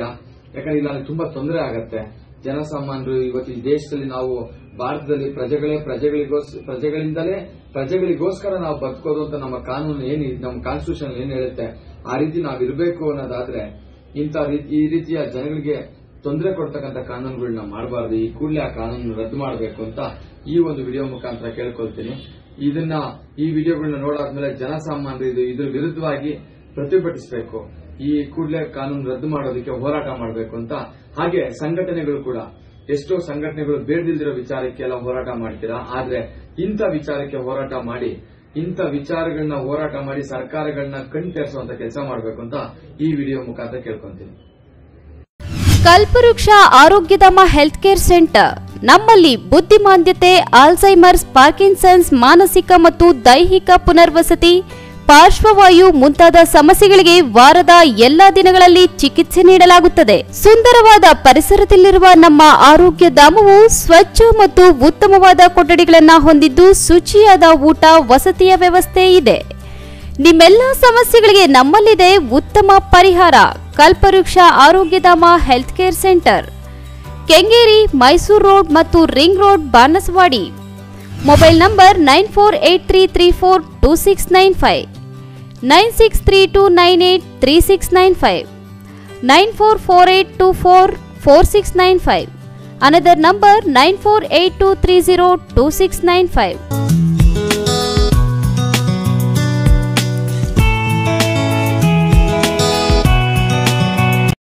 ಎಲ್ರಿಗೂ ನಮಸ್ಕಾರ. ಇನ್ ಮುಂದೆ ಯಾರಾದ್ರೂ ಆಕ್ಸಿಡೆಂಟ್ ಆದ್ರೆ ದೊಡ್ಡ ದೊಡ್ಡ ಆರ್ ಡಿ ಬೆನ್ಸ್ ಕಾರ್ಗಳಲ್ಲಿ ಆಕ್ಸಿಡೆಂಟ್ ಆದ್ರೆ ಅಷ್ಟೇ ಅವ್ರ ಕುಟುಂಬಗಳು ನೆಮ್ಮದಿಯಾಗಿರುತ್ತೆ. ಚಿಕ್ಕ ಚಿಕ್ಕ ಯಾವ್ದಾದ್ರು ಟೂ ವೀಲರು ಅಥವಾ ಕಾರ್ಗಳು ಅಂತ ಗಾಡಿಗಳಿಗೆ ಸಿಕ್ಕಿ ಏನಾದರೂ ಆಕ್ಸಿಡೆಂಟ್ ಆದ್ರೆ ಅವರ ಇಡೀ ಕುಟುಂಬ ಆಕ್ಸಿಡೆಂಟ್ ಆಗಿ ಯಾರು ಅಪಘಾತಕ್ಕೀಡಾಗಿರ್ತಾರೆ ಅಂತ ಕುಟುಂಬ ಬೀದಿಗೆ ಬೀಳುವಂತ ಪರಿಸ್ಥಿತಿ ಬರ್ತಾ ಇದೆ. ಯಾಕೆ ಅಂತ ಹೇಳ್ತೀರಾ? ಹಿಂದೆ ಇದ್ದಂತ ಮೋಟಾರ್ ವೆಹಿಕಲ್ ಆಕ್ಟ್ ಏನಿತ್ತು, ಸಾವಿರದ ಒಂಬೈನೂರ ಎಂಬತ್ತೆಂಟರಲ್ಲಿ ಮಾಡಿದಂತ ಆಕ್ಟ್ ಪ್ರಕಾರ ಅವತ್ತಿನ ಒಂದು ಆಕ್ಟ್ ಅಲ್ಲಿ ಏನಿತ್ತು ಅಂದ್ರೆ section one forty one forty seven one forty five one forty nine ಹಾಗೆ ಏನು ಒನ್ ಸಿಕ್ಸ್ಟಿ ತ್ರೀ ಎ, ಇದು ಇತ್ತೀಚಿನ ದಿನಗಳಲ್ಲಿ ಎರಡ್ ಸಾವಿರದ ಹತ್ತೊಂಬತ್ತರಲ್ಲಿ ಇತ್ತೀಚಿನ ದಿನಗಳಲ್ಲಿ ಅದನ್ನ ಕಾನೂನ ತಿದ್ದುಪಡಿ ಮಾಡಿದ್ದಾರೆ. ಏನಪ್ಪ ತಿದ್ದುಪಡಿ ಅಂತ ತಮ್ಗೆ ತಿಳಿಸಬೇಕು ಅಂತ ಈ ಒಂದು ವಿಡಿಯೋ ಮುಖಾಂತರ ಹೇಳ್ತಾ ಇದ್ದೀನಿ. ಜನಸಾಮಾನ್ಯರಿಗೆ, ಅಂದ್ರೆ ತಮ್ಗೆ ಅರ್ಥ ಆಗೋ ರೀತಿಯಲ್ಲಿ ಕೆಲವೊಂದು ಮಾತುಗಳಲ್ಲಿ ಕನ್ನಡ ಭಾಷೆಯಲ್ಲೇ ಇರಬೇಕು ಅಂತ ನಾನು ಈ ಒಂದು ವಿಡಿಯೋ ಮಾಡ್ತಾ ಇದ್ದೀನಿ. ಏನಂದ್ರೆ ಹಿಂದೆ ಯಾವ್ದಾದ್ರು ಒಂದು ವಾಹನ ಒಬ್ಬ ವ್ಯಕ್ತಿಗೆ ದಾರಿಯಲ್ಲಿ ಹೋಗ್ಬೇಕಾದ್ರೆ ಒಂದು ಆಕ್ಸಿಡೆಂಟ್ ಆಗುತ್ತೆ. ಆಕ್ಸಿಡೆಂಟ್ ಆದಾಗ ಆತ ಏನೋ ಒಂದು ಮೃತನ ಮೃತನಾಗ್ತಾನೆ, ಇಲ್ಲಾಂದ್ರೆ ಆತನಿಗೆ ಏನೋ ಒಂದು ದೇಹದಲ್ಲಿ ಏನೋ ಒಂದು ಕೈಯೋ, ಕಾಲೋ, ಏನೋ ಒಂದು ಅಕಸ್ಮಾತ್ ಮುರಿದೋದ್ರೆ, ಮತ್ತೊಂದಾದ್ರೆ ಆತ ಏನಾದ್ರೂ ಮುಂದಿನ ದಿನಗಳಲ್ಲಿ ಆತ ಹಾಸ್ಪಿಟಲ್ ಸೇರಿದ್ರೆ ನೆಕ್ಸ್ಟ್ ಆತ ಕೋರ್ಟ್ಗೆ ಹೋಗಿ ಕೋರ್ಟ್ನ ಮೊರೆ ಹೋಗಿ ಆತ ಏನಾದ್ರೂ ಕ್ಲೈಮ್ ಮಾಡಿದ್ರೆ ಅವಾಗ ಏನಾಗುತ್ತೆ ಅವ್ನ ಎಲ್ಲಾ ಡಾಕ್ಯುಮೆಂಟ್ಸ್ ಕರೆಕ್ಟ್ ಆಗಿದ್ದು ನ್ಯಾಯಾಲಯ ಏನಾದ್ರೂ ಒಂದು ಐವತ್ತು ಲಕ್ಷ ಕೊಡಬೇಕು ಅಥವಾ ಒಂದು ಕೋಟಿ ಕೊಡಬೇಕು ಅಂತ ಏನಾದರೂ ಆರ್ಡರ್ ಮಾಡಿದ್ರೆ ಅದನ್ನ ಇನ್ಶೂರೆನ್ಸ್ ಕಂಪ್ನಿ ಕೊಡ್ತಾ ಇತ್ತು. ಯಾಕಂದ್ರೆ ನಾವು ಇನ್ಶೂರೆನ್ಸ್ ಎಲ್ಲ ಕರೆಕ್ಟ್ ಆಗಿ ಕಟ್ಟಿದ್ವಿ ಲೈಸೆನ್ಸ್ ಇತ್ತು ಡಾಕ್ಯುಮೆಂಟ್ಸ್ ಎಲ್ಲ ಇದೆ ಅನ್ನೋ ಒಂದು ಕಾರಣದಿಂದ ಇನ್ಶೂರೆನ್ಸ್ ಕಂಪ್ನಿ ಪೂರ್ಣವಾಗಿ ಲಯಬಿಲಿಟಿ ಕೊಡಬೇಕಾಗಿತ್ತು. ಆದ್ರೆ ಈಗ ಎರಡ್ ಸಾವಿರದ ಹತ್ತೊಂಬತ್ತರ ಕಾನೂನಿನ ಪ್ರಕಾರ ಈಗೇನ್ ತಿದ್ದುಪಡಿ ಮಾಡಿದ್ದಾರೆ ಆ ಕಾನೂನಿನ ಪ್ರಕಾರ ತಮ್ಗೆಲ್ಲ ಎಷ್ಟೋ ಜನಕ್ಕೆ ಮೆಡಿಕ್ಲೇಮ್ ಹೇಗೆ ಅಂತ ಗೊತ್ತಿದೆ. ನಾನೇನೋ ಹತ್ತು ಸಾವಿರ ಫಾರ್ ಎಕ್ಸಾಂಪಲ್ ಹತ್ತು ಸಾವಿರ ರೂಪಾಯಿ ಕೊಟ್ಟು ನಾನು ಹತ್ತು ಲಕ್ಷ ರೂಪಾಯಿ ಒಂದು ಇನ್ಶೂರೆನ್ಸ್ ಮಾಡಿಸಿರ್ತೀನಿ ಆಗ ಹತ್ತು ಲಕ್ಷ ರೂಪಾಯಿ ಏನು ನಾನು ಇನ್ಶೂರೆನ್ಸ್ ಮಾಡಿಸಿರ್ತೀನಿ. ಅಷ್ಟೇ ದುಡ್ಡು.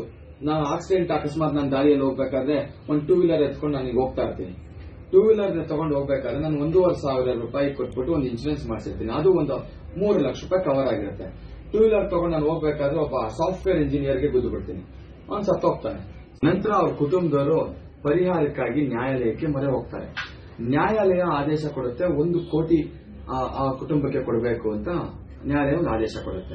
ಆದ್ರೆ ಆ ಒಂದು ಏನು ಟೂ ವೀಲರ್ ಇರುತ್ತೆ ಟೂ ವೀಲರ್ ಅಲ್ಲಿ ಒಂದು ಮೂರು ಲಕ್ಷನೋ ಅಥವಾ ನಾಲ್ಕು ಲಕ್ಷನೋ ಕವರ್ ಆಗಿರುತ್ತೆ.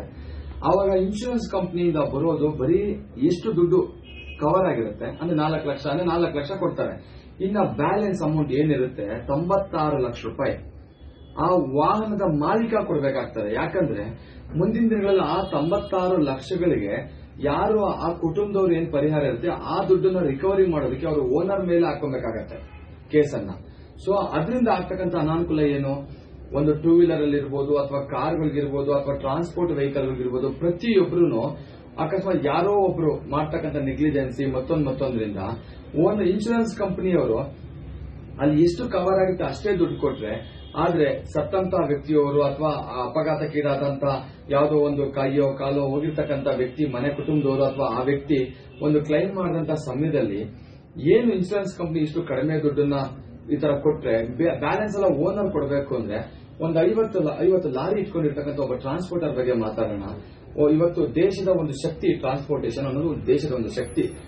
ಒಬ್ಬ ಟ್ರಾನ್ಸ್ಪೋರ್ಟರ್ ಒಂದು ಗಾಡಿ ಇಟ್ಕೊಂಡಿರ್ತಾನೆ ಅವ್ನು ಹೋಗ್ತಾ ಒಂದು ಡ್ರೈವರ್ ಹೋಗಿಲ್ಲ ಒಂದು ಆಕ್ಸಿಡೆಂಟ್ ಮಾಡ್ತಾನೆ. ಅಕಸ್ಮಾತ್ ಆಕ್ಸಿಡೆಂಟ್ ಮಾಡಿಬಿಟ್ಟು ಅಲ್ಲಿ ಯಾರೋ ಒಬ್ಬ ದೊಡ್ಡ ವ್ಯಕ್ತಿ ಅಥವಾ ಲಕ್ಷಾಂತರ ರೂಪಾಯಿ ಜೀವನದಲ್ಲಿ ಅರ್ನ್ ಮಾಡ್ತಾ ಇದ್ದಂತ ಒಬ್ಬ ವ್ಯಕ್ತಿ ಸತ್ತೋಗ್ಬಿಟ್ರೆ, ಆ ಟ್ರಾನ್ಸ್ಪೋರ್ಟ್ ಇಟ್ಟಿರುವಂತ ಮಾಲೀಕ ಒಂದು ವೆಹಿಕಲ್ಗೆ ಒಂದು ಇನ್ಶೂರೆನ್ಸ್ ಕಟ್, ಒಂದು ಹದಿನೈದು ಸಾವಿರ ರೂಪಾಯಿ ಅಥವಾ ಇಪ್ಪತ್ತು ಸಾವಿರ ರೂಪಾಯಿ ಇನ್ಶೂರೆನ್ಸ್ ಕಟ್ಟಿರ್ತಾನೆ. ಆ- ವಾಹನ ಕಡಿಮೆ ಅಂದ್ರೆ ಒಂದು ಏಳರಿಂದ ಎಂಟು ಲಕ್ಷ ರೂಪಾಯಿ ಇನ್ಶೂರೆನ್ಸ್ ಕವರ್ ಆಗಿರುತ್ತೆ. ಆ ಸತ್ತಂತ ಕುಟುಂಬದವರು ಎರಡು ಕೋಟಿನೋ, ಮೂರು ಕೋಟಿನೋ ಕ್ಲೈಮ್ ಹಾಕೊಳ್ತಾರೆ. ಅದೇನಾಗುತ್ತೆ? ಮೂರು ಕೋಟಿ ರೂಪಾಯಿ ನ್ಯಾಯಾಲಯದ ಮೊರೆ ಹೋಗ್ತಾರೆ ಮೂರು ಕೋಟಿ ರೂಪಾಯಿ ಕೋರ್ಟಲ್ಲಿ ಆರ್ಡರ್ ಆಗುತ್ತೆ. ಅಕಸ್ಮಾತ್ ಅವರು ಇನ್ಶೂರೆನ್ಸ್ ಕವರ್ ಆಗಿರ್ತಕ್ಕಂಥದ್ದು ಒಂದು ಇಪ್ಪತ್ತರಿಂದ ಮೂವತ್ತು ಲಕ್ಷ ದುಡ್ಡನ್ನ ಇನ್ಶೂರೆನ್ಸ್ ಇಂದ ಬರುತ್ತೆ. ಇನ್ನ ಬ್ಯಾಲೆನ್ಸ್ ಎರಡು ಕೋಟಿನೋ, ಎರಡೂವರೆ ಕೋಟಿನೋ ದುಡ್ಡನ್ನ ಆ ವಾಹನದ ಮಾಲೀಕ ಕೊಡ್ಬೇಕಾಗತ್ತೆ. ಏನ್ ವಾಹನದ ಮಾಲೀಕ ಎಲ್ಲಿ ಅದನ್ನ ಕೊಡ್ತಾನೆ ಇನ್ ಬ್ಯಾಲೆನ್ಸ್ ಐವತ್ತು ಗಾಡಿ ಮಾರ್ಬಿಟ್ಟು ಅವ್ನ ಕುಟುಂಬನ ಬೀದಿಗೆ ಹಾಕ್ಬಿಟ್ಟು ದುಡ್ಡನ್ನ ಕೊಡ್ಬೇಕಾಗತ್ತೆ. ಇವ್ರು ಏನ್ ಮಾಡ್ತಾ ಇದ್ದಾರೆ ಇವತ್ತು ಏನ್ ಜನಕ್ಕೆ ಹೆಲ್ಪ್ ಮಾಡ್ತಾ ಇದ್ದಾರೆ ಈಗಾಗಲೇ ಜನಗಳಲ್ಲಿ ಎಲ್ಲಿ ಎಷ್ಟೋ ಕೆಲವೊಂದು ಜಿ ಎಸ್ ಟಿಯಿಂದ ಹೊರ ಇದೆ. ಇವತ್ತು ಎಷ್ಟೋ ಕಾರ್ಖಾನೆಗಳು ಅಥವಾ ಟ್ರಾನ್ಸ್ಪೋರ್ಟರ್ಸ್ ಮಧ್ಯಮ ವರ್ಗದ ಜನರಿಗೆ ಜಿಎಸ್ಟಿ ಹೊರೆ ಆಗಿತ್ತು. ಆಯ್ತು ಅದನ್ನೇಗೋ ಒಂದು ಒಂದು ನಾವು ಅದಕ್ಕೆ ಹೊಂದ್ಕೊಂಡು ಹೋಗ್ಬಿಡೋಣ ಅಂತ ಅನ್ಕೊಂಡ್ರೆ, ಈಗ ಇನ್ಶೂರೆನ್ಸ್ ಒಬ್ಬ ಸ್ಟೂಡೆಂಟ್ ಒಂದು ಗಾಡಿ ತಗೊಂಡು ಅಕಸ್ಮಾತ್ ಕಾಲೇಜ್ ಹೋಗ್ತಾ ಇರ್ತಾನೆ, ಏನೋ ಹೆಚ್ಚು ಕಮ್ಮಿ ಮಾಡೋ ಒಂದು ಆಕ್ಸಿಡೆಂಟ್ ಆಗೋಗ್ಬಿಡುತ್ತೆ ಯಾರಿಗೋ ಏನೋ ತೊಂದರೆ ಆಗೋಗ್ಬಿಡುತ್ತೆ ತೊಂದರೆ ಆದಾಗ ಸ್ಟೂಡೆಂಟ್ ಅವ್ರಿಗೆ ಪರಿಹಾರನ ಅವನ ಹೆಸರು ಗಾಡಿ ಇರುತ್ತೆ. ಪರಿಹಾರ ಎಲ್ಲಿ ತಂದು ಕೊಡ್ತಾನೆ ಒಂದು ಬಡವನ ಹೆಸರು ಕೂಲಿ ಮಾಡೋರ ಹೆಸರು ಗಾಡಿಗಳಿರುತ್ತೆ ಇನ್ಶೂರೆನ್ಸ್ ಕಂಪನಿ ಅವ್ರು ದುಡ್ಡು ಕೊಡ್ಲಿಲ್ಲ ಅಂದ್ರೆ ಆ ಕೂಲಿ ಮಾಡೋ ದುಡ್ಡನ್ನು ಎಲ್ಲಿ ತಂದ್ಕೊಡ್ತಾನೆ ಇಲ್ಲ ದುಡ್ಡನ್ನು ತಂದ್ಕೊಡ್ಬೇಕಲ್ಲ ಇನ್ನು ಜೈಲಿಗೆ ಹೋಗ್ಬೇಕಾ? ಈ ರೀತಿ ಮಾಡಿರ್ತಕ್ಕಂಥ ಕೇಂದ್ರ ಸರ್ಕಾರ ಏನ್ ಇವತ್ತು ಕಾನೂನು ಇದನ್ನು ಮಾಡಿದೆ? ಇದು ಇದು ಒಂದು ಒಂದು ರೀತಿಯಲ್ಲಿ ವೈಲೇಷನ್ ಆಫ್ ಹ್ಯೂಮನ್ ರೈಟ್ಸ್ ಆದ್ರೆ ಒಂದು ಒಂದು ರೀತಿಯ ಅವರು ಜನಗಳ ಮೇಲೆ ಏರ್ತಾ ಇರ್ತಕ್ಕಂಥ ಒಂದು ಒಂದು ಬಲವಂತವಾಗಿ ಏರ್ತಾ ಇರ್ತಕ್ಕಂಥ ಒಂದು ಇದು ಕಾನೂನು ಇದು. ಇದು ತಪ್ಪು, ಇದು ಈ ರೀತಿಯ ಕಾನೂನುಗಳನ್ನ ಈ ಕೂಡಲೇ ತೆಗೆದಾಕ್ಬೇಕು ಹಾಗೆ ಜನಸಾಮಾನ್ಯರು ಈ ರೀತಿಯ ಕಾನೂನುಗಳು ಆಗಿರ್ತಕ್ಕಂಥ ಜನಸಾಮಾನ್ಯರಿಗೆ ಗಮನಕ್ಕೆ ಬಂದಿಲ್ಲ. ಹಾಗಾಗಿ ಈ ಕೂಡಲೇ ಈ ಕೂಡಲೇ ಜನಸಾಮಾನ್ಯರು ಕೂಡ ಇರ್ಬೋದು ಅದೇ ಮತ್ತೆ ಎಲ್ಲ ರಾಜಕೀಯ ಪಕ್ಷಗಳು ಕೂಡ ಪಕ್ಷಾತೀತವಾಗಿ ಈ ಇದರ ಕಾನೂನಿನ ವಿರುದ್ಧವಾಗಿ ಹೋರಾಟ ಮಾಡಬೇಕು. ಇಲ್ಲ ಅಂದ್ರೆ ಮುಂದಿನ ದಿನಗಳಲ್ಲಿ ತುಂಬಾ ತೊಂದರೆ ಆಗತ್ತೆ. ಈ ಕಾನೂನ ಈ ಕೂಡಲೇ ಅತಿಶಯ ಅತಿ ಒಂದು ಈ ಕೂಡಲೇ ಅಂದ್ರೆ ಒಂದು ಹತ್ತು ಹದಿನೈದು ದಿವಸಗಳೊಳಗಾಗಿ ಈ ಕಾನೂನು ತೆಗೆದಾಕಬೇಕು. ಆಗ ಮಾತ್ರ ಜನಸಾಮಾನ್ಯರು ಬದುಕೋಕೆ ಸಾಧ್ಯ. ಯಾಕಂದ್ರೆ ಇಲ್ಲ ತುಂಬಾ ತೊಂದರೆ ಆಗತ್ತೆ. ಜನಸಾಮಾನ್ಯರು ಇವತ್ತು ಈ ದೇಶದಲ್ಲಿ ನಾವು, ಭಾರತದಲ್ಲಿ ಪ್ರಜೆಗಳೇ ಪ್ರಜೆಗಳಿಗೋಸ್ಕರ ಪ್ರಜೆಗಳಿಂದಲೇ ಪ್ರಜೆಗಳಿಗೋಸ್ಕರ ನಾವು ಬದುಕೋದು ಅಂತ ನಮ್ಮ ಕಾನೂನು ಏನು ನಮ್ಮ ಕಾನ್ಸ್ಟಿಟ್ಯೂಷನ್ ಏನ್ ಹೇಳುತ್ತೆ, ಆ ರೀತಿ ನಾವು ಇರಬೇಕು ಅನ್ನೋದಾದ್ರೆ ಇಂಥ ಈ ರೀತಿಯ ಜನಗಳಿಗೆ ತೊಂದರೆ ಕೊಡ್ತಕ್ಕಂಥ ಕಾನೂನುಗಳನ್ನ ಮಾಡಬಾರದು. ಈ ಕೂಡಲೇ ಆ ಕಾನೂನು ರದ್ದು ಮಾಡಬೇಕು ಅಂತ ಈ ಒಂದು ವಿಡಿಯೋ ಮುಖಾಂತರ ಕೇಳ್ಕೊಳ್ತೀನಿ. ಇದನ್ನ ಈ ವಿಡಿಯೋಗಳನ್ನ ನೋಡಾದ್ಮೇಲೆ ಜನಸಾಮಾನ್ಯರು ಇದು ಇದ್ರ ವಿರುದ್ಧವಾಗಿ ಪ್ರತಿಭಟಿಸಬೇಕು. ಈ ಕೂಡಲೇ ಕಾನೂನು ರದ್ದು ಮಾಡೋದಕ್ಕೆ ಹೋರಾಟ ಮಾಡಬೇಕು ಅಂತ. ಹಾಗೆ ಸಂಘಟನೆಗಳು ಕೂಡ. ಎಷ್ಟೋ ಸಂಘಟನೆಗಳು ಬೇಡದಿಲ್ದಿರೋ ವಿಚಾರಕ್ಕೆ ಎಲ್ಲ ಹೋರಾಟ ಮಾಡ್ತೀರಾ? ಆದ್ರೆ ಇಂಥ ವಿಚಾರಕ್ಕೆ ಹೋರಾಟ ಮಾಡಿ, ಇಂಥ ವಿಚಾರಗಳನ್ನ ಹೋರಾಟ ಮಾಡಿ ಸರ್ಕಾರಗಳನ್ನ ಕಣ್ ಕೆಲಸ ಮಾಡಬೇಕು ಅಂತ ಈ ವಿಡಿಯೋ ಮುಖಾಂತರ ಕೇಳ್ಕೊಂತೀನಿ. ಪಾಲ್ಗೊಂಡಿದ್ದರು. ಆರೋಗ್ಯ ನಿರ್ವಹಣೆ ಸಂಸ್ಥೆ ಒಂದು ವರ್ಷದಲ್ಲಿ ಉಚಿತ ತರಬೇತಿ ಗ್ರಾಮೀಣ ಬಾಲಕಿಯರಿಗೆ ನರ್ಸಿಂಗ್ ಸಹಾಯಕಾರಿಯಾಗಿದೆ. ಹಳ್ಳಿಗಳು ಭಾರತದ ಎಪ್ಪತ್ತೆರಡು ಪ್ರತಿಶತರಷ್ಟಿದೆ ಮತ್ತು ಈ ಗ್ರಾಮಗಳನ್ನ ಹೊರತುಪಡಿಸಿ ಭಾರತವು ಪ್ರಗತಿ ಹೊಂದಲು ಸಾಧ್ಯವಿಲ್ಲ. ಭವಿಷ್ಯದ ಭಾರತದ ತಯಾರಕರು ಆಗಿರುವ ನಮ್ಮ ಗ್ರಾಮಸ್ಥರಿಗೆ ವಿಶೇಷವಾಗಿ ಗ್ರಾಮೀಣ ಯುವತಿಯರಿಗೆ ಅವಕಾಶಗಳು ಲಭ್ಯವಾಗಬೇಕು. ಈ ಗ್ರಾಮೀಣ ಬಾಲಕಿಯರಿಗೆ ನರ್ಸಿಂಗ್ ಸಹಾಯಕ ತರಬೇತಿಯನ್ನ ಆಯ್ಕೆ ಮಾಡಲಾಗಿದೆ. ಏಕೆಂದರೆ ಈ ತರಬೇತಿಯ ಅವಧಿ ಕೇವಲ ಒಂದು ವರ್ಷ ಮತ್ತು ತರಬೇತಿ ಮುಗಿದ ಕೂಡಲೇ ಉದ್ಯೋಗವನ್ನು ಹುಡುಕುವ ವ್ಯಾಪ್ತಿ ವಿಸ್ತಾರವಾಗಿದೆ. ವೃತ್ತಿ ಜೀವನವನ್ನ ಮುಂದುವರಿಸಲು ಆಸಕ್ತಿ ಹೊಂದಿರುವ ವ್ಯಕ್ತಿಗಳಿಗೆ ತರಬೇತಿ ಅತ್ಯುತ್ತಮ ಅವಕಾಶವಾಗಿದೆ. ಅವರ ವೈಯಕ್ತಿಕ ಜೀವನದಲ್ಲಿ ಅವರು ಯಾವುದೇ ತೊಂದರೆಗಳು, ಚಿಂತೆಗಳು ಮತ್ತು ದುಃಖಗಳನ್ನು ಎದುರಿಸುವುದಿಲ್ಲ. ಅವರು ಉದ್ಯೋಗದಲ್ಲಿ ಇರುವ ಕಾರಣ ಭವಿಷ್ಯದಲ್ಲಿ ಅವರ ಸಂಗಾತಿಯೂ ಸಹ ಅವರನ್ನು ಗೌರವಿಸುತ್ತಾರಾ ಮತ್ತು ಗೌರವದಿಂದ ವರ್ತಿಸುತ್ತಾರಾ? ಸಿದ್ಧಾಂತ ತರಗತಿಗಳ ಜೊತೆಗೆ ಕ್ರಮೇಣ ಈ ಮೂವತ್ತು ವಿದ್ಯಾರ್ಥಿಗಳಿಗೆ ಬ್ಯಾಂಡೇಜಿಂಗ್, ಹೊಲಿಗೆ ನಿರ್ವಹಣೆ, ರೆಕಾರ್ಡಿಂಗ್, ಇಸಿಜಿ, ಮಾನಿಟರಿಂಗ್, ಪಲ್ಸ್ ಇತ್ಯಾದಿಗಳನ್ನು ನಿರ್ವಹಿಸಲು ಪ್ರಾಯೋಗಿಕವಾಗಿ ತರಬೇತಿ ನೀಡಲಾಗುತ್ತದೆ ಮತ್ತು ವಿವಿಧ ಔಷಧಿಗಳ ಹೆಸರಿನೊಂದಿಗೆ ಪರಿಚಿತರಾಗುತ್ತಾರೆ. ತರಬೇತಿಯಲ್ಲಿ ಆಯ್ಕೆಯಾದ ಮೂವತ್ತು ಮಹಿಳಾ ಅಭ್ಯರ್ಥಿಗಳಿಗೆ ಉಚಿತ ಊಟ ಮತ್ತು ವಸತಿ ನೀಡಲಾಗುವುದು ಹಾಗೂ ಸ್ಟೈಪಂಡ್ ಸಹ ನೀಡಲಾಗುವುದು. ಈ ಹುದ್ದೆಗೆ ಅರ್ಜಿ ಸಲ್ಲಿಸಲು ಹೆಚ್ಚಿನ ವಿವರಗಳಿಗಾಗಿ ಸರ್ಕಾರಿ ಮಾನ್ಯತೆ ಪಡೆದ ಸಂಸ್ಥೆಯು ಮಹಿಳೆಯರಿಗೆ ಉಚಿತ ಹೆಲ್ತ್ ಕೇರ್ ಅಸಿಸ್ಟೆಂಟ್ ತರಬೇತಿ ಕೊಟ್ಟು ಉದ್ಯೋಗ ಒದಗಿಸುತ್ತದೆ. ಹೆಚ್ಚಿನ ಮಾಹಿತಿಗಾಗಿ ಈ ಕೆಳಗಿನ ಸಂಖ್ಯೆಗಳಿಗೆ ಕರೆ ಮಾಡಿ. Eight seven double two five one five six five nine double nine zero one eight two one four six five. ಇಷ್ಟೊತ್ತು ನೀವು ನೋಡಿರೋದು ನ್ಯೂಸ್ ವಿತ್ ಕರ್ನಾಟಕ.